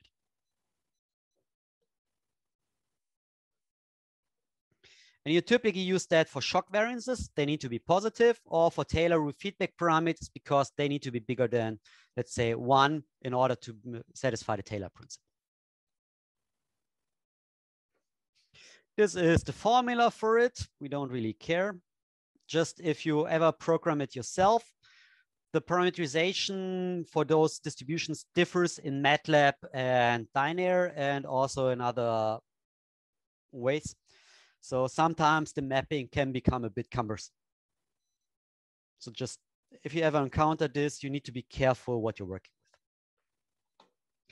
Then there is the inverse gamma distribution. It's also between zero and infinity, but here zero is not included. And usually it's more hump shaped, as you can see here. And again, you typically use that for variances. The thing with an inverse gamma is if something is gamma distributed, then one over this thing will be inverse gamma. This is the PDF. And purely theoretically, it's a better choice for variances if you want to prevent stochastic singularity. Did we talk about stochastic singularity in the summer school already? should have shown up in particle filtering? Yes, no? Yes, Professor Karame talked about it. Exactly. So it means at a minimum, you need to have as many shocks as observables. Otherwise, your model is going to imply a perfect linear combination within observables that's typically not satisfied. That is stochastic singularity in a nutshell. But that means if you have as many shocks as observables, you need all shocks. If one of them has a variance of zero, it's going to drop out of the model. So if you use a gamma prior that conceptually allows for a shock to have a zero variance, it drops out of the model. That would not be allowed because of stochastic singularity. So theoretically, then inverse gamma is a better choice because it excludes zero. But for a gamma distribution, what's the probability of observing a zero variance? Zero.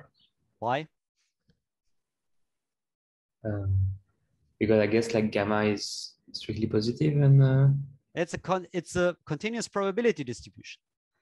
also continuous probability distribution, the probability of, of observing an exact value is always zero. It's a zero probability event. So in a sense, this is kind of a moot point.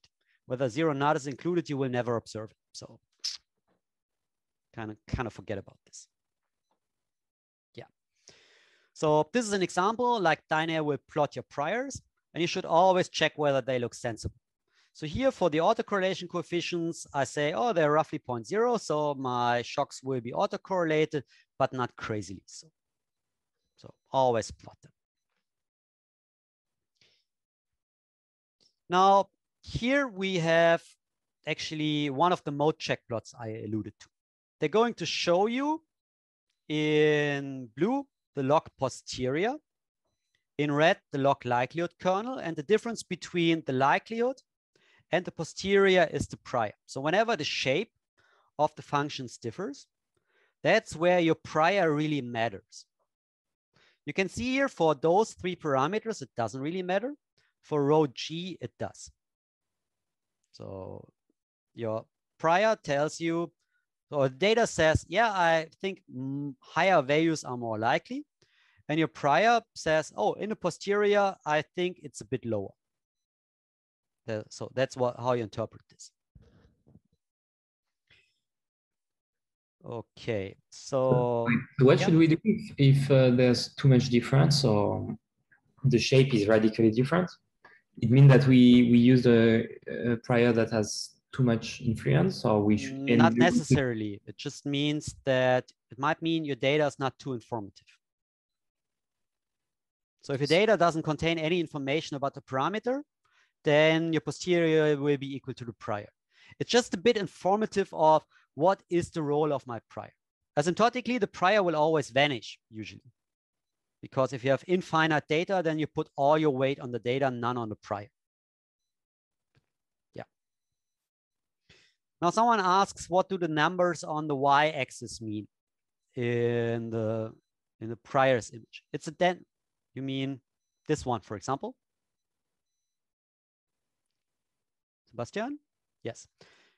It's a density. If you take a normal distribution, you have a, I, get, I tell you, oh, normal distribution with, and I want to know, so what's the density of the normal distribution, standard normal distribution at zero?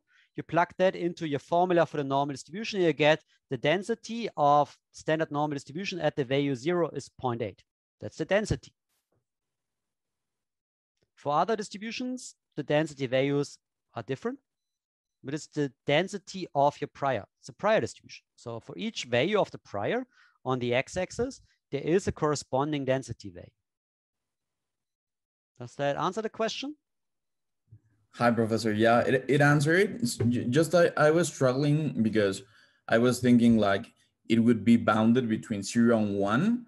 And then we have these values that goes to 200 and 300 and that, yeah, that's, keep yeah. in mind, we're not talking about probabilities. Mm-hmm. Probabilities were for, would be for discrete events. We're talking about densities. We know that the sum, so the integral over the density function Yep. needs to sum up to one. But that means, for example, take a beta distribution or even take a distribution that puts that, that would be bounded like this one and cut off and cut off a part here, for example. Then that mass needs to be somewhere else because otherwise it wouldn't add up. And for densities, this is what happens. Densities are, are not really bounded. They can be quite unintuitive numbers. okay. So there's Okay. always a question, can the log likelihood of my model be positive? Mhm. Because usually you think about, yeah, likelihood is between zero and one. Log of zero would be infinity. Log of one would be zero. So the log likelihood needs to be negative. No, we're talking about the density. So the log of a density that's bigger than one will be positive. So anything goes. Okay. Okay. Perfect. You're Thank you. welcome. Okay, so that was the inverse gamma. Now there is a question. I don't understand how often how people fix the tightness of the prior. Is there a way to make the tightness of the prior endogenous in DSGE models? Not really. The point of the prior is this is how you set your uncertainty about the prior. So if you look at, at a picture like this, it's your job as the researcher to specify how certain you are. And I'm pretty, for example, for the TFP shock here, I'm pretty confident that the TFP shock doesn't have a uh, has- doesn't have an autocorrelation that's lower than 0.3. That would be crazy. We know those shocks are autocorrelated. And I also incorporate here that no, it will not be bigger than one. That's my way of saying, okay, I consider this range likely. And the way you consider that or you choose the tightness is usually by looking at those pictures and say, yeah, it's probably capturing how I think that the world works. So take here standard deviation of my government spending shock. Usually they are somewhere in around in a range of 1% per quarter. And I consider it pretty unlikely that there is each quarter a 2% government spending shock happening. And that's the way you approach this. Of course, if you had a training sample, you could do it differently. You could just use the training sample. But usually it's your job to look at the picture and say, okay, this is how I specify. And when in doubt, be choose a wider prior. And if you think, if you say, I have no clue about what the parameter could ever be, use a uniform prior. It will not impose any information because you don't have information. That's the way priors work. Other questions? There's a oh, raised hand. Please, let me ask a question. Um, my question, just clarification on uh, slide seven, Slide seven. 37 or 27. yes. Three, seven, three, seven, that's, that's seven, yeah. You mean this one? No, three, three, But we are, pro, are we there yet? Oh yeah, this one. yes. So you say that we, we should notice how the prior affect the posterior of uh, rho G. So just to be clear, we want the blue and the red line to overlay. Is that correct? No, not necessarily. We can't really say that. Okay. The so that is not a valid statement because that would imply that the posterior is equal to the likelihood. If you use uniform prior, that will always be the case. So that's not it. It would tell you that your likely uh, your posterior doesn't provide, uh, sorry, a prior doesn't really provide information. With if you had infinite data, that would actually be the case. Those two lines need to be the same, otherwise you're in trouble. But with infinite data, there's no way to make sure of that because it might just be that your data is not informative. If there is weak identification, there's typically not much you can do about it. So Willi will tell you what that means, weak identification. And typically, if there is weak or if there's relatively weak identification, those two lines will be different. And there's not much you can do about it. It's just the way it is. Okay, that, that takes me to uh, the data you provided to Rose. I, am aware that it is very difficult to get uh, data on average uh, effective taxes, uh, especially for capital and labor, but you've provided some. So in a situation where you've used data to construct, say maybe another data, and you're not sure the extent of the, um, what they call it, the, the, the extent of uh, the errors in such constructed data, how can you justify that use when you are feeding it into your DSGE model? And if you're not sure about the data quality, you would add measurement error usually. Okay. That's typically the way it works. Now, let's look, quickly have a look at this. What I mean with weak identification. What you're trying to do is likelihood times prior, we want to maximize that. We want to find the highest point. You can see here in the direction of rho z, we're quite flat.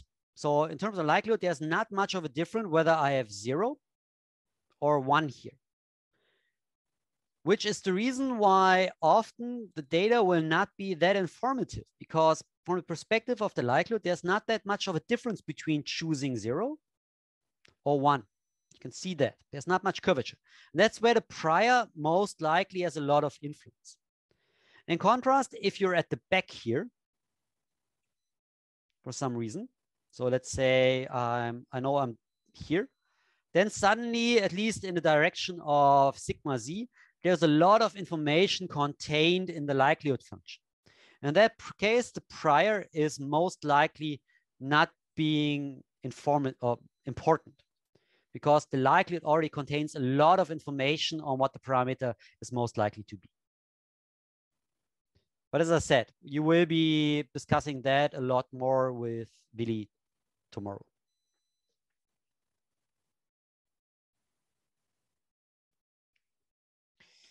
Okay, what else do we have? So sometimes people perform, they estimate some parameters and for others, they stick to calibration.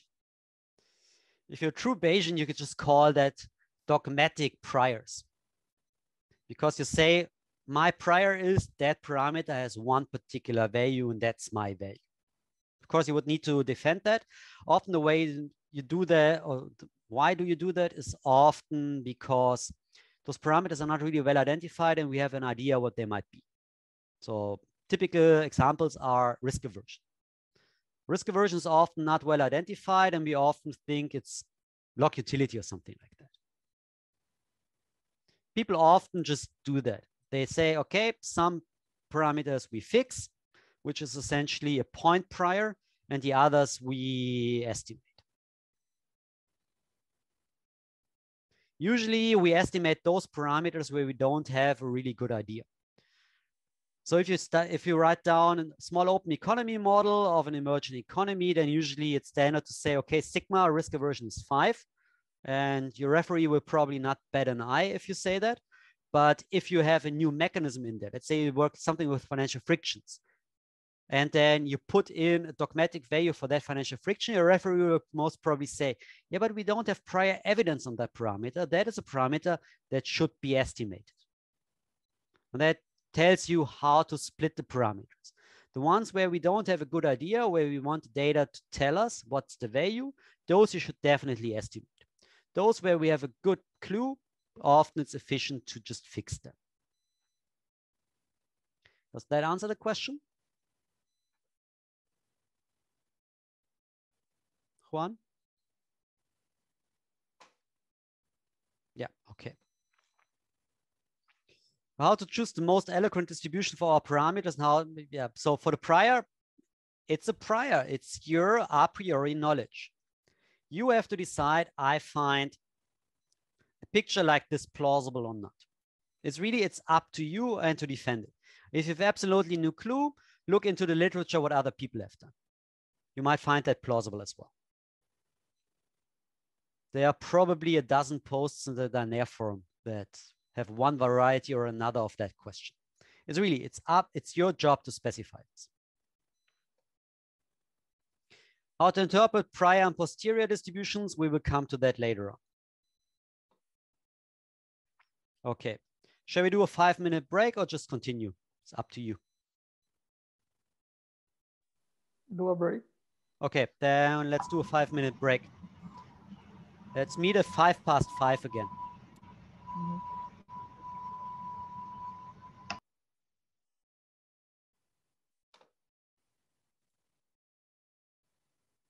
Continue the recording.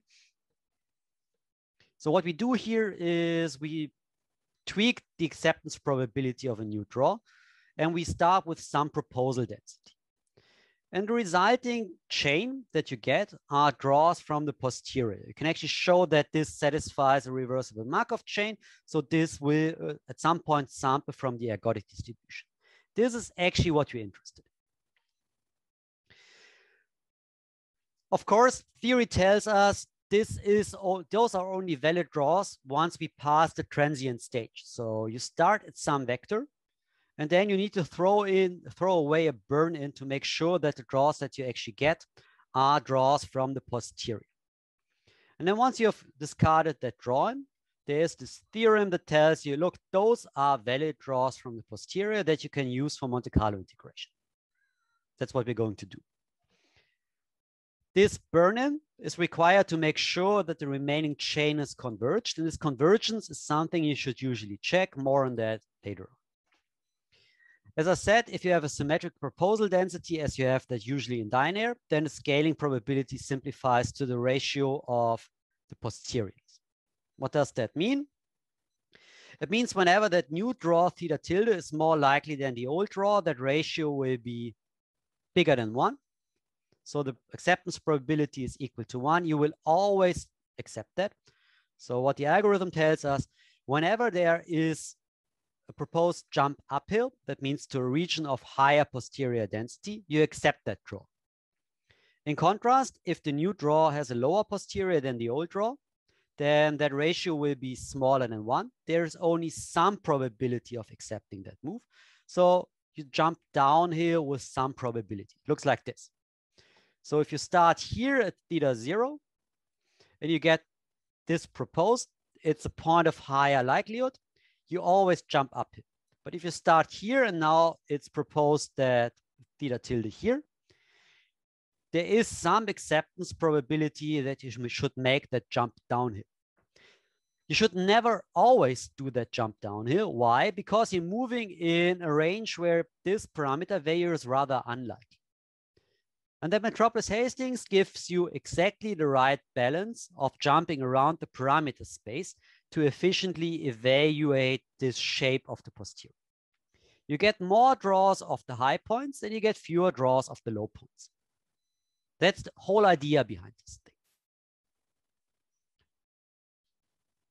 Everyone with me so far? Yes. Okay, good. Now, the one thing I didn't really tell you about, what is this Q? What's the proposal density? How, that, how should that look like? And how does convergence work? The answer is there is a theorem that tells us if there are some regularity conditions are satisfied, any proposal density Q will ultimately lead to convergence to the invariant distribution. So pretty much you can use anything that satisfies the regularity conditions. But, and this is the big but, the speed of convergence to the, to the ergodic distribution may significantly differ. And because we only have finite lifetimes, we might actually care. Sometimes we don't care that much because it might still work out, but you should spend some time in making sure that you have the right proposal. What people in practice do is they often use the random walk metropolis Hastings, where you say, essentially this here, the new draw is the old draw plus some increment. So some proposed jump. You start at the actual accepted parameter value, and then you propose to jump from there either left or right with the same probability. That would be the random walk because you're centered around the previous draw. Now what then off, what you still need to specify is what's the proposal for that increment Z. And what people typically say, yeah, for that increment, we center it around zero and we use either a normal or a t distribution. So we have some proposal and okay, mean is zero. So what you need to specify here is the covariance of that jumping distribution. Typically we have two elements. We have that C, which is a scaling parameter, that's a scalar. And we have the actual covariance matrix. So you need the scaling matrix and the scaling factor. How should you efficiently do this? And the idea is you construct a Gaussian approximation to the posterior and use the asymptotic covariance matrix as a scaling matrix. Essentially, what you have is in the background a theory that tells you that asymptotically your posterior should be close to normal. So it should be looking like a normal. And what you then do is you treat it like a normal distribution and use, let's say, if it looks like this, use the shape of that distribution up here as the covariance distribution as your, as your proposal distribution or the covariance of that distribution. You essentially say, okay, I approximate this normally, and I use the covariance of the, or the, if it is very univariate, the standard deviation of the normal distribution at the evaluated this, this peak as my proposal. And here you see the catch. And Thomas, Thomas just said something about the Hessian at the mode. This is where this comes from because we're saying, oh yeah, we want to approximate that proposal distribution using a normal distribution at the mode. And we want to have the covariance matrix. And the covariance matrix needs to be positive definite. There are no negative variances. That's a problem. So conceptually here, we want to have this asymptotic covariance matrix. We want to use that sigma because it allows efficient evaluation around the mode. Quick side note, asymptotically, we know the prior plays no role, so the posterior will only depend on the likelihood. Koop, in his textbook approximates the likelihood function, and Schorfheide approximates the posterior. We do what the latter do. People in the literature usually use this Gaussian approximation to the posterior. So they look at the posterior mode, not at the mode of the likelihood. Just if you look at the textbook, they do it a bit differently than most articles do. So why do we do this? Because this normal approximation is justified by asymptotic normality if there are some regularity conditions met. Problem is convergence may be slow. Why? Because some parameters cannot really be normally distributed. Think about the discount factor beta. It's between zero and one. Normal distribution has infinite support. So having the normal distribution become so single peaked around the true value that it's a good approximation will take like forever. Because of that, sometimes it's better to reparameterize your model. Like in your model, instead of beta, you estimate a parameter that is a logarithmic or the logistic transformation of that parameter. Because that logistic transformation of beta will have infinite or unbounded support. And then that approximation works better. So as I said here, you can do a log transformation of positive parameters or logit for unit interval. That is one of the tricks in the literature. But that's more advanced. Now, technical considerations. That's where most of you might actually sometimes run into trouble. The usual way you do that when you want to use the asymptotic covariance matrix is you use a numerical optimizer to find the posterior mode. And then theory tells you that the Hessian at that mode should be equal to that covariance matrix. But that equality only holds if you're truly at the mode. Otherwise, that Hessian will not be equal. And even worse, if you're not at a mode, this Hessian will not be positive definite. And remember, a covariance matrix needs to be positive definite, while the mode might not be. So the first thing is, how do I find the mode? One of the things is non-derivative based optimizers might often perform better. Why? Because if your posterior really looks like an egg crate and there are multiple local maxima, then using something derivative based will bring you to the nearest maximum, but that might be a local. So optimizers like mode compute 9 or 8 in Dynare are rather global, non-derivative based. They often perform better, at least for a first pass. But keep in mind, finding the mode is hard and time intensive. So you should try often a sequence of different optimizers because time spent in finding the mode will often save you a lot of time in running a the Markov chain later on. You can save millions of draws by spending a couple of hours on just finding the mode. Again, you could say, yeah. So the the the mode compute, uh, um, what's the different algorithm that you use that are global? So the the simplex one. Nine would be the covariance matrix adaptive evolutionary strategy. Mm -hmm. There's also simulated annealing. Okay. There is something that MATLAB provides. Uh -huh, okay. I would have to look up the name. No, no, no, manual. I'll check that. Okay. Yeah. So of course you could say in some sense, finding the mode is not important because we know that if the regularity conditions are met, and that usually means the positive definite scaling matrix, then you will converge to the ergodic distribution. And what does that mean?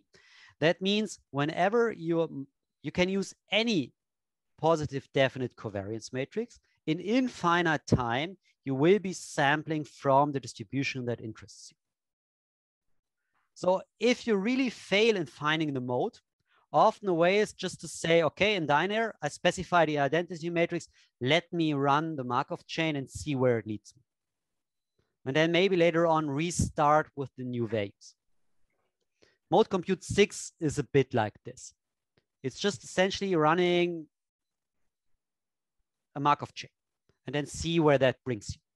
This is heavily inefficient in a sense, but theory tells you in infinite time, you will be ending up where you would like to be.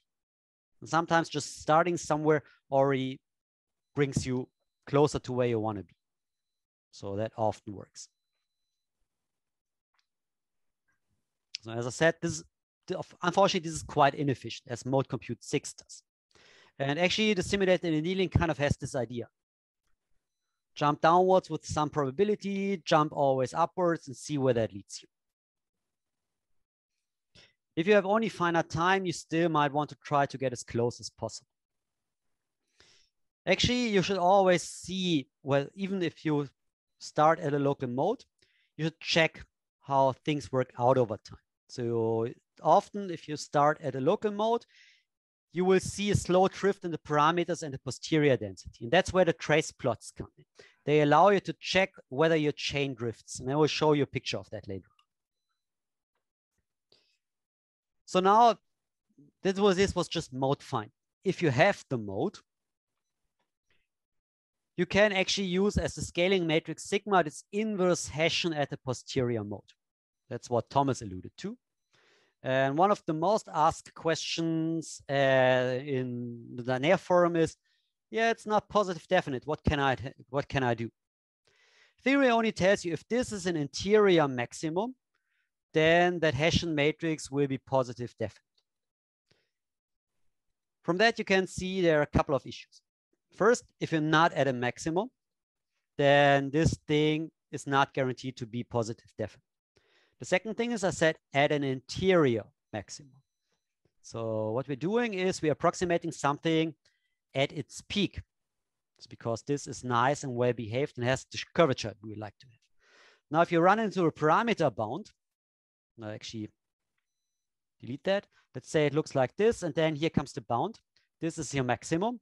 If you try to approximate this, this doesn't have the shape you would like it to have because it's not an interior maximum. So as soon as you run into prior bounds, implicit or explicitly, you're in, you're in trouble. Those are the cases where you could, for example, say, okay, I'm at that boundary. That's just the way it is.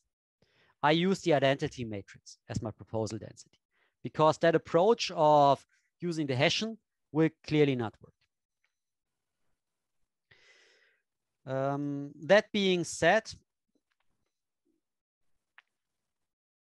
most of the times, actually, if you find that your Hessian is not positive definite, there is still a more fundamental problem in your model. So it's never a good idea to just say, yeah, I specify a covariance matrix because I can't get the model to run otherwise. Often it's a sign of deeper issues, like you specify the wrong observation equations, you have still trending data, and you run into parameter regions where the model is not supposed to be. That's one of those things. Or a parameter is not identified. If a parameter is not identified, then the likelihood will be, or the posterior will be the same for every single parameter value. If this is flat, then obviously it doesn't have the curvature you need for a positive definite Hessian. Those are all the things where you should actually have a look at those plots. Ideally, the mode, which is this vertical line, is supposed to be at the highest point. If it's not, have a look why that is the case. And often those plots are informative.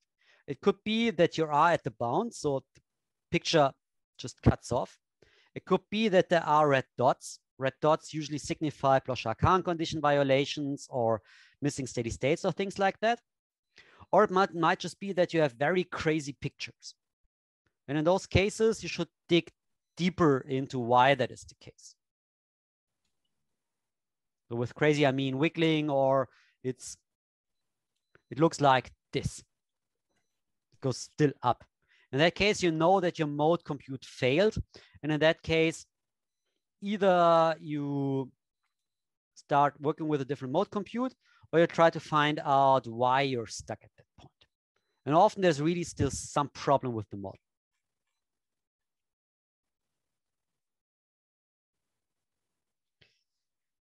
Okay.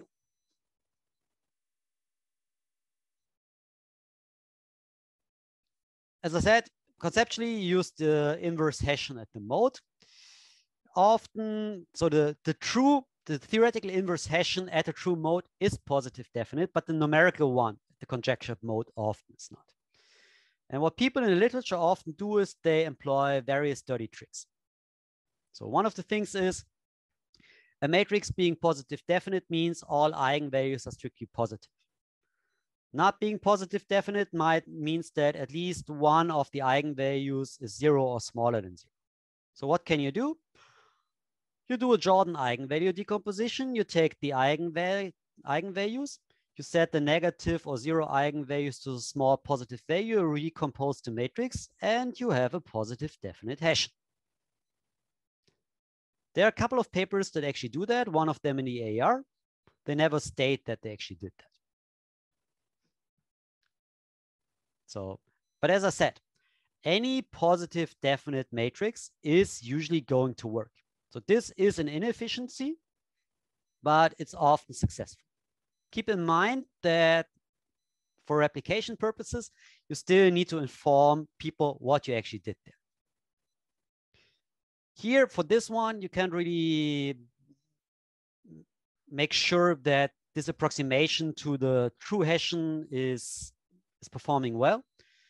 There is something called a generalized Cholesky decomposition that does uh, a good, a rather good approximation to the next or to the closest positive definite matrix to the one you're working with. So Dynare also has this, but yeah. And you could try different step sizes for the numerical differences that you use. So any questions on the scaling matrix, uh, on the covariance matrix so far? Excuse me, you said any positive definite matrix can be used. We can use the identity matrix or it is ruled out? No, you can It's positive definite. It's positive variances. It might be inefficient, which will show up in you needing a very, very long chain, but conceptually it will work. Okay, thank you very much. Of course, what won't work is using the identity matrix because you didn't get a positive definite Hessian if there is a fundamental problem in your model. So you, you setting a fixed matrix does not cure more fundamental issues. But if everything else is fine and the only issue is getting a positive definite matrix, you can use anything. Okay, okay. Thank you very much. Yep. Yeah, so that that answers my question. I think like I have a deep um, fundamental problem in my model. I didn't want to hear that, but um, also um, I have a situation where like when I estimate some parameter, everything was fine, everything is concave. Yeah. And then I add some more parameters to uh, like do this joint estimation, and then it fails. And so usually what I did, it kind of worked. It's probably not a good solution, but I was fixing the first one I estimated. Like usually it was a variance of the shocks, and then I estimate like the other Yeah. parameters, and then it works as well. Then it's concave and, and like everything is working well. But then when I do jointly, it's not working somehow. Okay, but that might be because so this this sounds a lot like an identification issue that each of those parameters is, is separately identified, but jointly they are not. And jointly being not ident- a linear combination not being identified means your hashnet mode will be singular because there is one direction that is collinear, and that might show up in a problem like this. And that's what I meant with often those failures signify something more fundamental. And always run identification. Yeah. But but thank you. I'll, I'll check more on that. Okay. Anything else?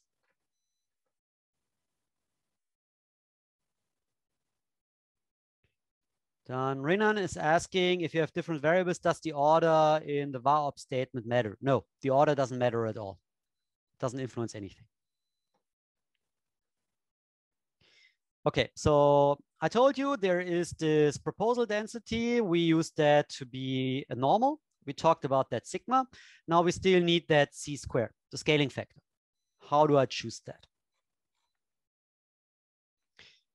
Why is that even important? The answer is it will affect the acceptance rate because a bigger C means our proposal is going to propose bigger moves. If this is really large, you will propose very jumps very far away because that innovation to the current parameter is really large.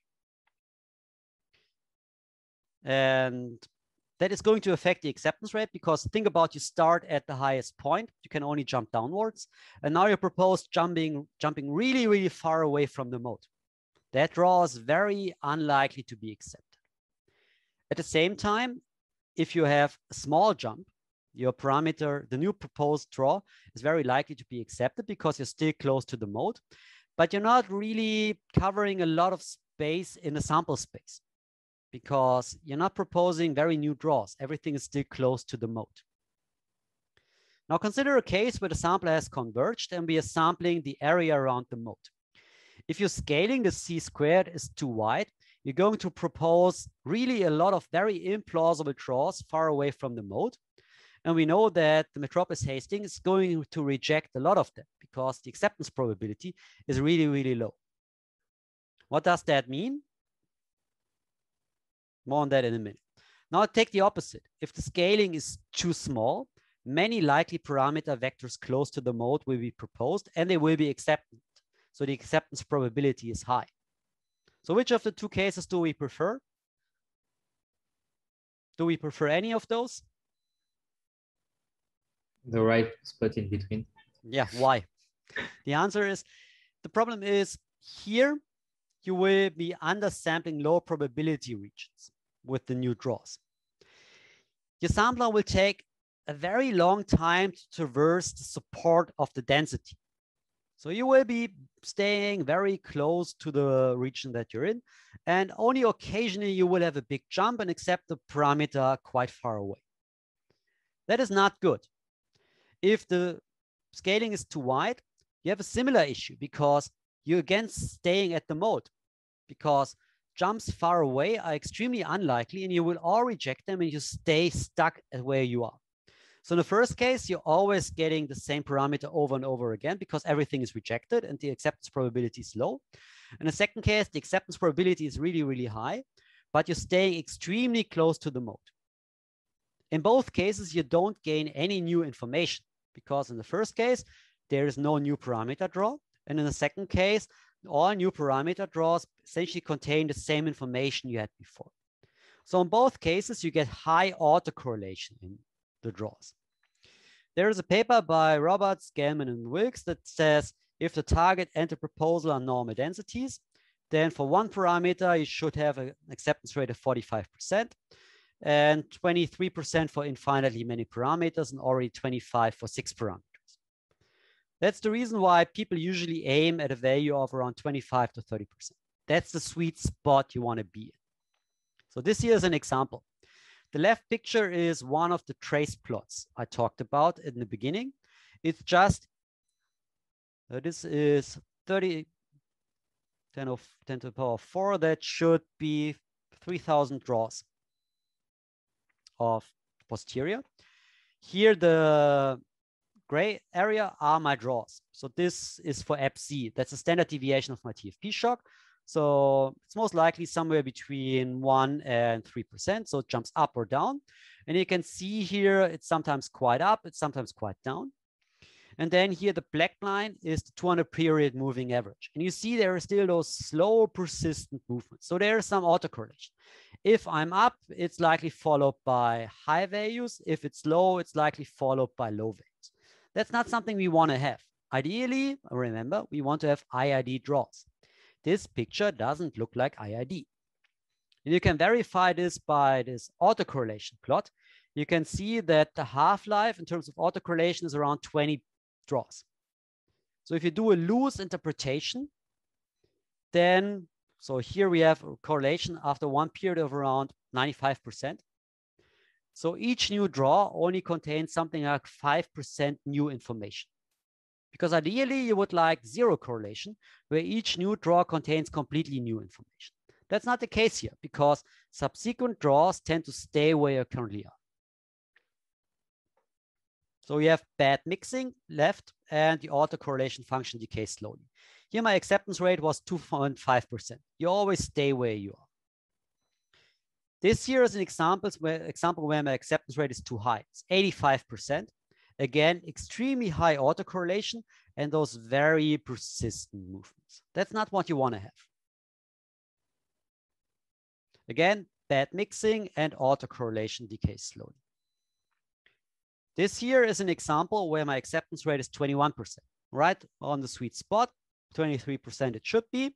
And you can see the gray line, again, now, now looks quite more like IID. There is some low frequency movement, but it still, it wiggles a lot more. And you can see the autocorrelation function decays a lot more slowly, uh, a, a lot faster. So this is the way it's supposed to be. In your problem set or your homework, you're supposed to plot this and have a look. Something I should also say is when you do this generate trace plots, it's also going to show you a trace plot of the posterior density. And sometimes what you see is you start at a value like this, and then it slowly moves up like this. This would be parameter drift. That shows you you didn't start at the mode, but rather a different value, and your chain slowly settled away from it. That usually is an indication of non-convergence. Remember, you want to draw from the ergodic distribution. So your chain should look nice. If it still has a trend, there is a problem.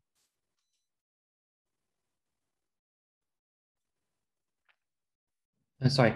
Yeah. Uh, if it has a trend at the beginning, but then slowly it kind of converge and, and yeah. do this small oscillation, that's fine. Um, yeah, as long as you have a sufficient burn-in. I see. So let me see whether I can find that.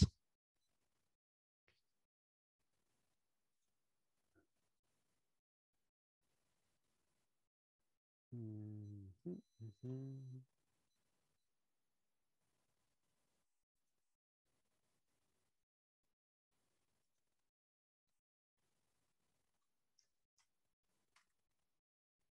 That's somewhere here. Nope, that's not it.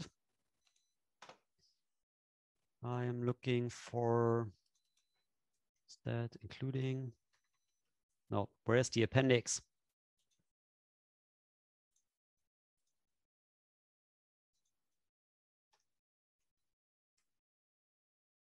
No, don't have that here. I could, I'm looking for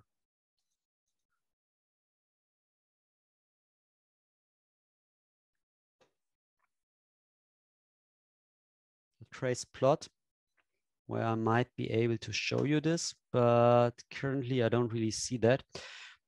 So sometimes you have bimodal distributions.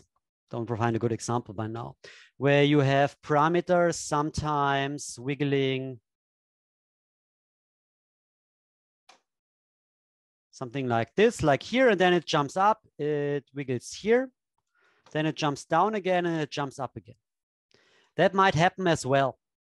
And that is really challenging. In that case, your distribution has more than one mode, and then certain convergence is harder.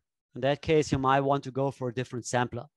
Like Dynare has the slice sampler developed by Marco Ratto. I'm not sure whether he's going to tell you something about it, but that seems to be a lot more efficient in dealing with that type of responses.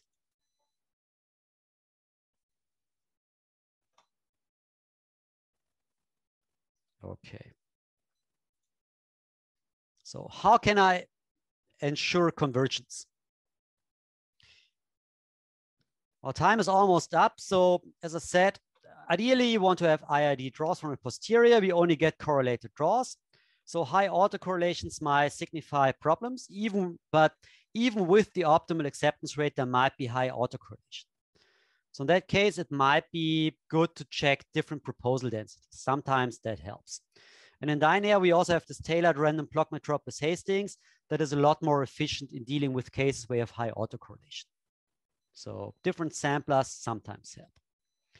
Now, how do I monitor convergence? So ideally, you want to have draws from this stationary distribution.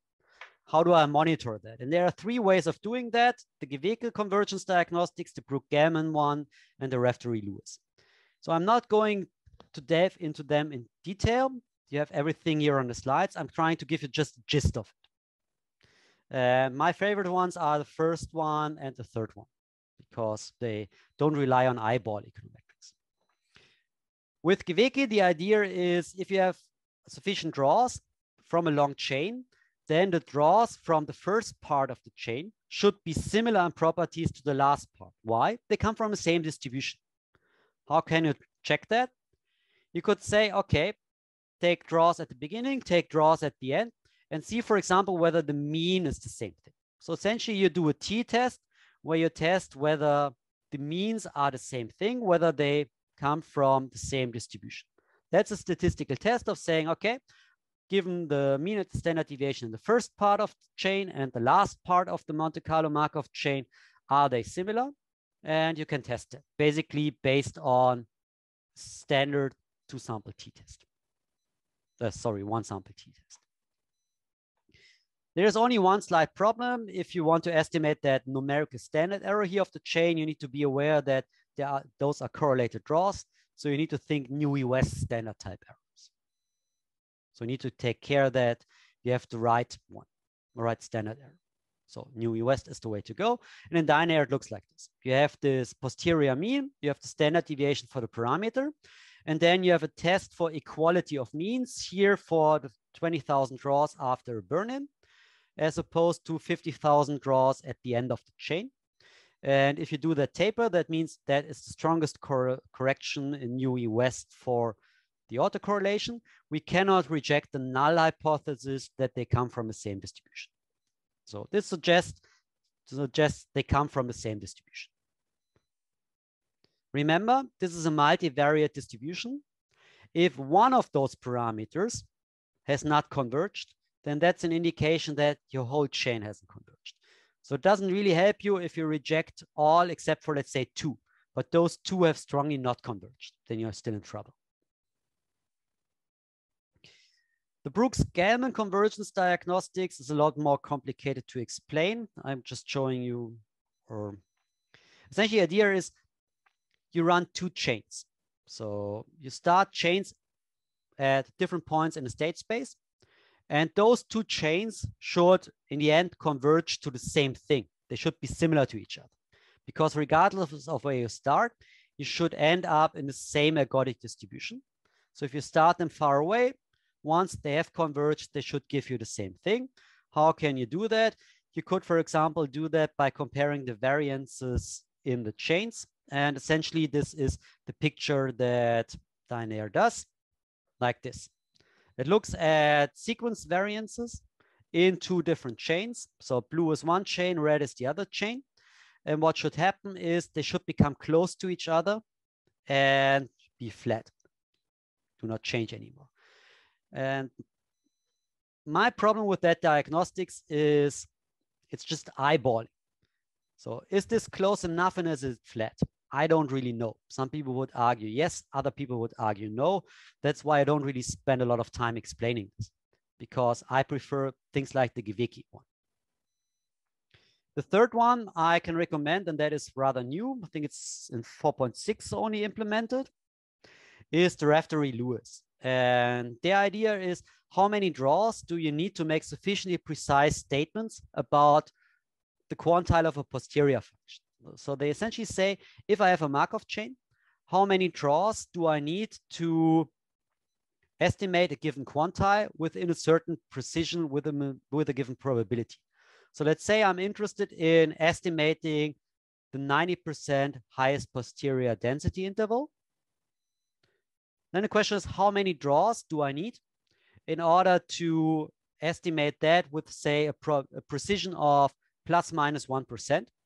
So I'm, instead of having 90% highest posterior density intervals, have something like from 9 to 89 or from 11 to 91% in coverage with a certain probability. So that's really the idea. How many draws do I need to achieve a given precision, given what we observe in variance in the draws? So typically it's something like we want to report a 95% highest posterior density intervals to have an actual posterior probability between 92.5% and 97.5% with 95 probability, 95% probability. So the error of making a mistake is just 5%, and we accept that in terms of a tolerance. And in order to achieve that, that's diagnostics is going to tell you you need to drop m draws as a burn-in. And then once you have that, you need n draws, of which we take every kth one. So the uh, central idea is you construct a Markov chain out of your observed draws in order to estimate those things. So all the formulas are on the slides. I'm going to show you the output. What Dynare is going to tell you for the parameter rho g, for example, you need to have a burn in of 26 observations. And that's the neat thing here. It tells you immediately how many draws you should drop. And then it says, okay, after that, we need here around 30,000 draws. For that one, around 40,000. So in total, you should have around 40,000 draws. And that's kind of a nice thing with that diagnostics because it tells you on the one hand, what is your recommended burn-in? And on the other hand, how many draws should I use? And again, I find that a lot neater than staring at those graphs and then doing eyeballing econometrics. Um, remember, those tests are only necessary, not sufficient. Essentially, you're testing, you're doing hypothesis testing. So just because you can't reject violations doesn't mean your chain has actually converged. So proving that it has converged is pretty much impossible. You can only hope for uh, for convergence not being rejected.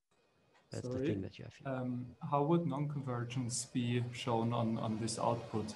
Would would be uh, like a burn-in that is not shown or no it would essentially tell you that regardless of how many draws you have you still need more and and this is after you've done the estimation yeah. you can only so, do so this after I, estimation if, if i have a million draws and afterwards it says like n required is a million that probably means like it didn't work yeah or exactly okay. and in that case it's always good to look at the trace plots they will often yeah. show you what the problem is okay thank you and there you will typically see what what the issues and once you have done that, it should look like this.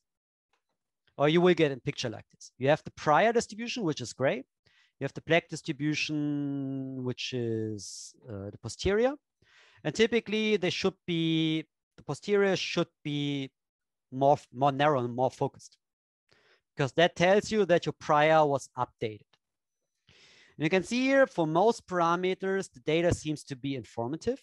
because you can see here that the black lines are more concentrated. The exception is rho Z. And here, remember in the beginning, I showed you this picture and I told you, oh, for rho Z, the likelihood is flat. You can immediately see this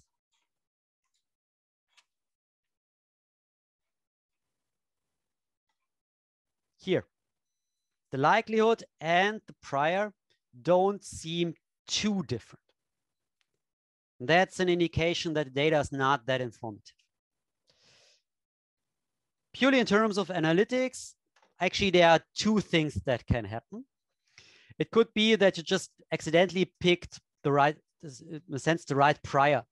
Because if you pick the actual posterior with the prior, then obviously there's no point in updating it. But more likely the data is actually informative. And before you move over to potentially move over to the Q&A session of Frédéric, I will leave you with one counterexample. I told you I'm going to thresh one paper at least, and I decided on this one. You might probably know at least two of those authors. And they do estimation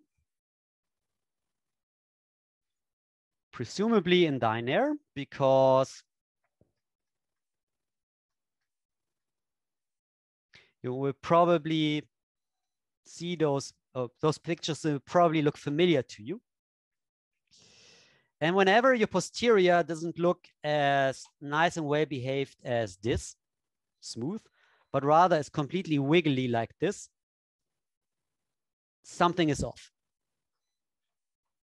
particularly if you get a picture like this. You can pretty much imagine that if you smooth this out, that it actually looks like this. If you have more draws, your prior is most probably going to look exactly like the posterior. What does that tell you? That parameter is most likely not identified. And it gets even worse if you zoom in here for lambda L, who spots the prior? The prior is immediately below the posterior, which again is an indication that estimation was not successful because here the prior and the posterior are virtually identical, which typically is a sign of non-convergence. So here definitely estimation went wrong. So something is really freaky with these estimates. So this is not the way prior posterior plots are supposed to look like. And that's why I, why I always encourage you to have a deeper look at diagnostics. So you have all those plots, you have the mode check plots, which would immediately show you if a parameter is not identified. You have the identification tools that allow you to check for identification. You have convergence diagnostics that allow you to check whether this is convergence or not. Okay, so questions? Uh, what about the parameters, the posteriors that are very thin um, and are concentrated only in one value? Is that a problem also, or is that the estimate uh, the information is? You mean very good?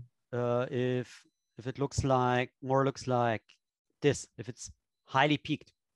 Yeah, but even even more. It can happen. If your data is really, really informative or you have a lot of data, sure. Why not? So it's not a problem, no? It's not like the algorithm is stuck in one value or something like that. That can happen. So you should have a look at a trace plot. If you do it, if you, if you, let's see, oh, sorry, should be somewhere before the diagnostics. If you do a trace plot and you see that it's always looks like this. So it's a hard cutoff at the bottom.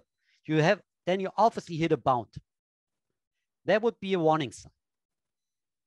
If it's rather smooth around uh, this dense, uh, this peak, it's less of an issue. So usually you can you can spot whether you're you're getting stuck or not. Okay, okay. Thank you very much.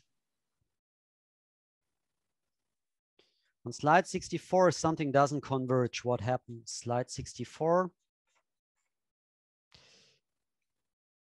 Um, so one of the things that happens is that those two lines are not converging. So you have the red line up here, the blue line down here, and they don't converge. That is one of the examples that can happen.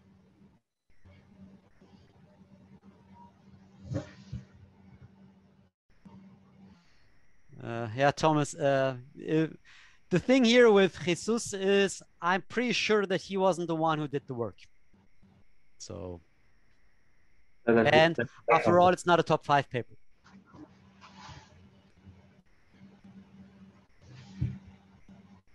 But over a beer, I could probably tell you more. Well, actually, not a, I'm not a beer drinker, so yeah.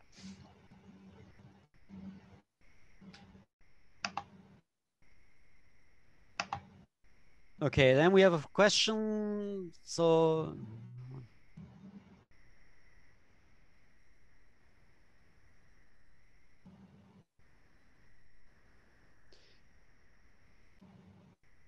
So usually when you run Dynare, the question is, what do I need to save?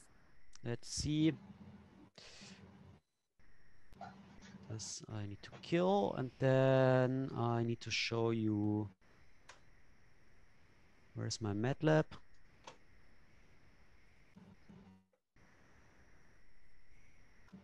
And I need this one. So here you can see MATLAB.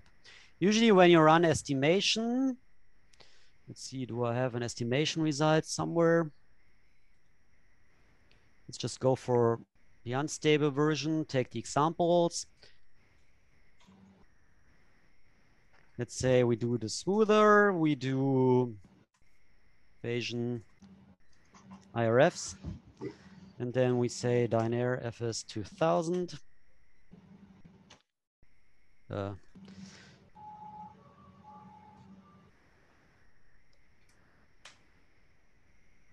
and you run this thing, then you will be getting all this output. Generally, it will save pretty much everything you need to know. And you could even load that. You can load previous runs with load mh file, for example. I'll show you. So generally, pretty much everything that Dynare needs to know will be somewhere. So here, those are the Bayesian impulse responses. Oh, um, yeah, this one. Those are the Bayesian impulse responses. And what's now following is the smooth variables. They look like this. And smooth shocks. We don't care about the constants. So let's go here. Those are the smooth shocks. Smooth shocks means our best estimate of the shocks given the data. And what Dynare does, it saves all that stuff. In the FS2000, you have all the graphs. So this is the prior graph. You have within the Metropolis folder, the smooth values. You have within the output folder, the Bayesian IRFs and within the prior folder, you have information on the prior. And then this FS 2000 results here is going to store all the results. Of course, if you want to make your life easier, what you can always do is just say options dot TeX equal to one. And let's say we do collect LaTeX files. Quickly run this again.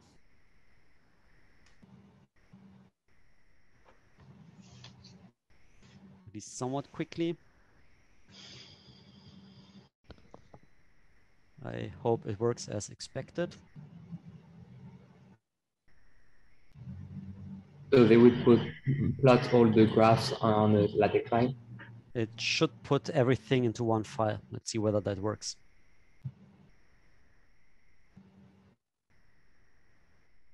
But I can see Bayesian computations take time.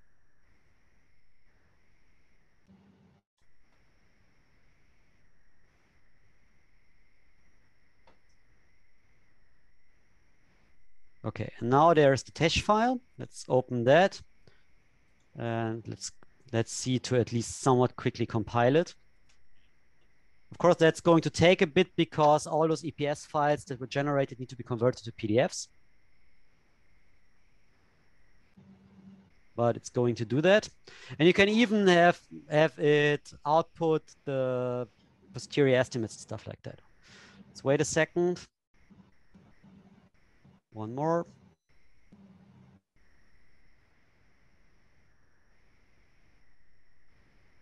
One more round of compiling. I hope, actually hope that Frédéric isn't going to be mad because we are a bit late. So it looks like this. Those, those are the inefficiency factors. This is a measure of the autocorrelation in the draws.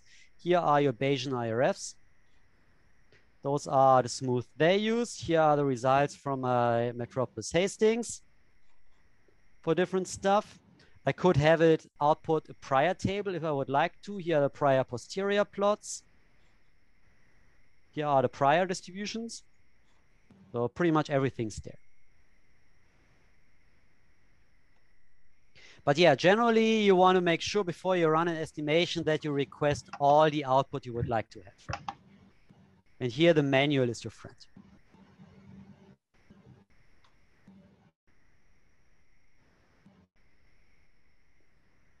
Does that answer the question?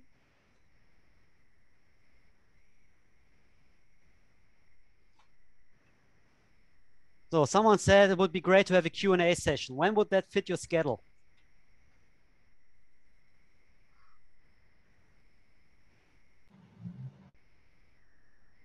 And on the other Q&A session of the other, the other right? I think there's not that many on Friday, but yeah.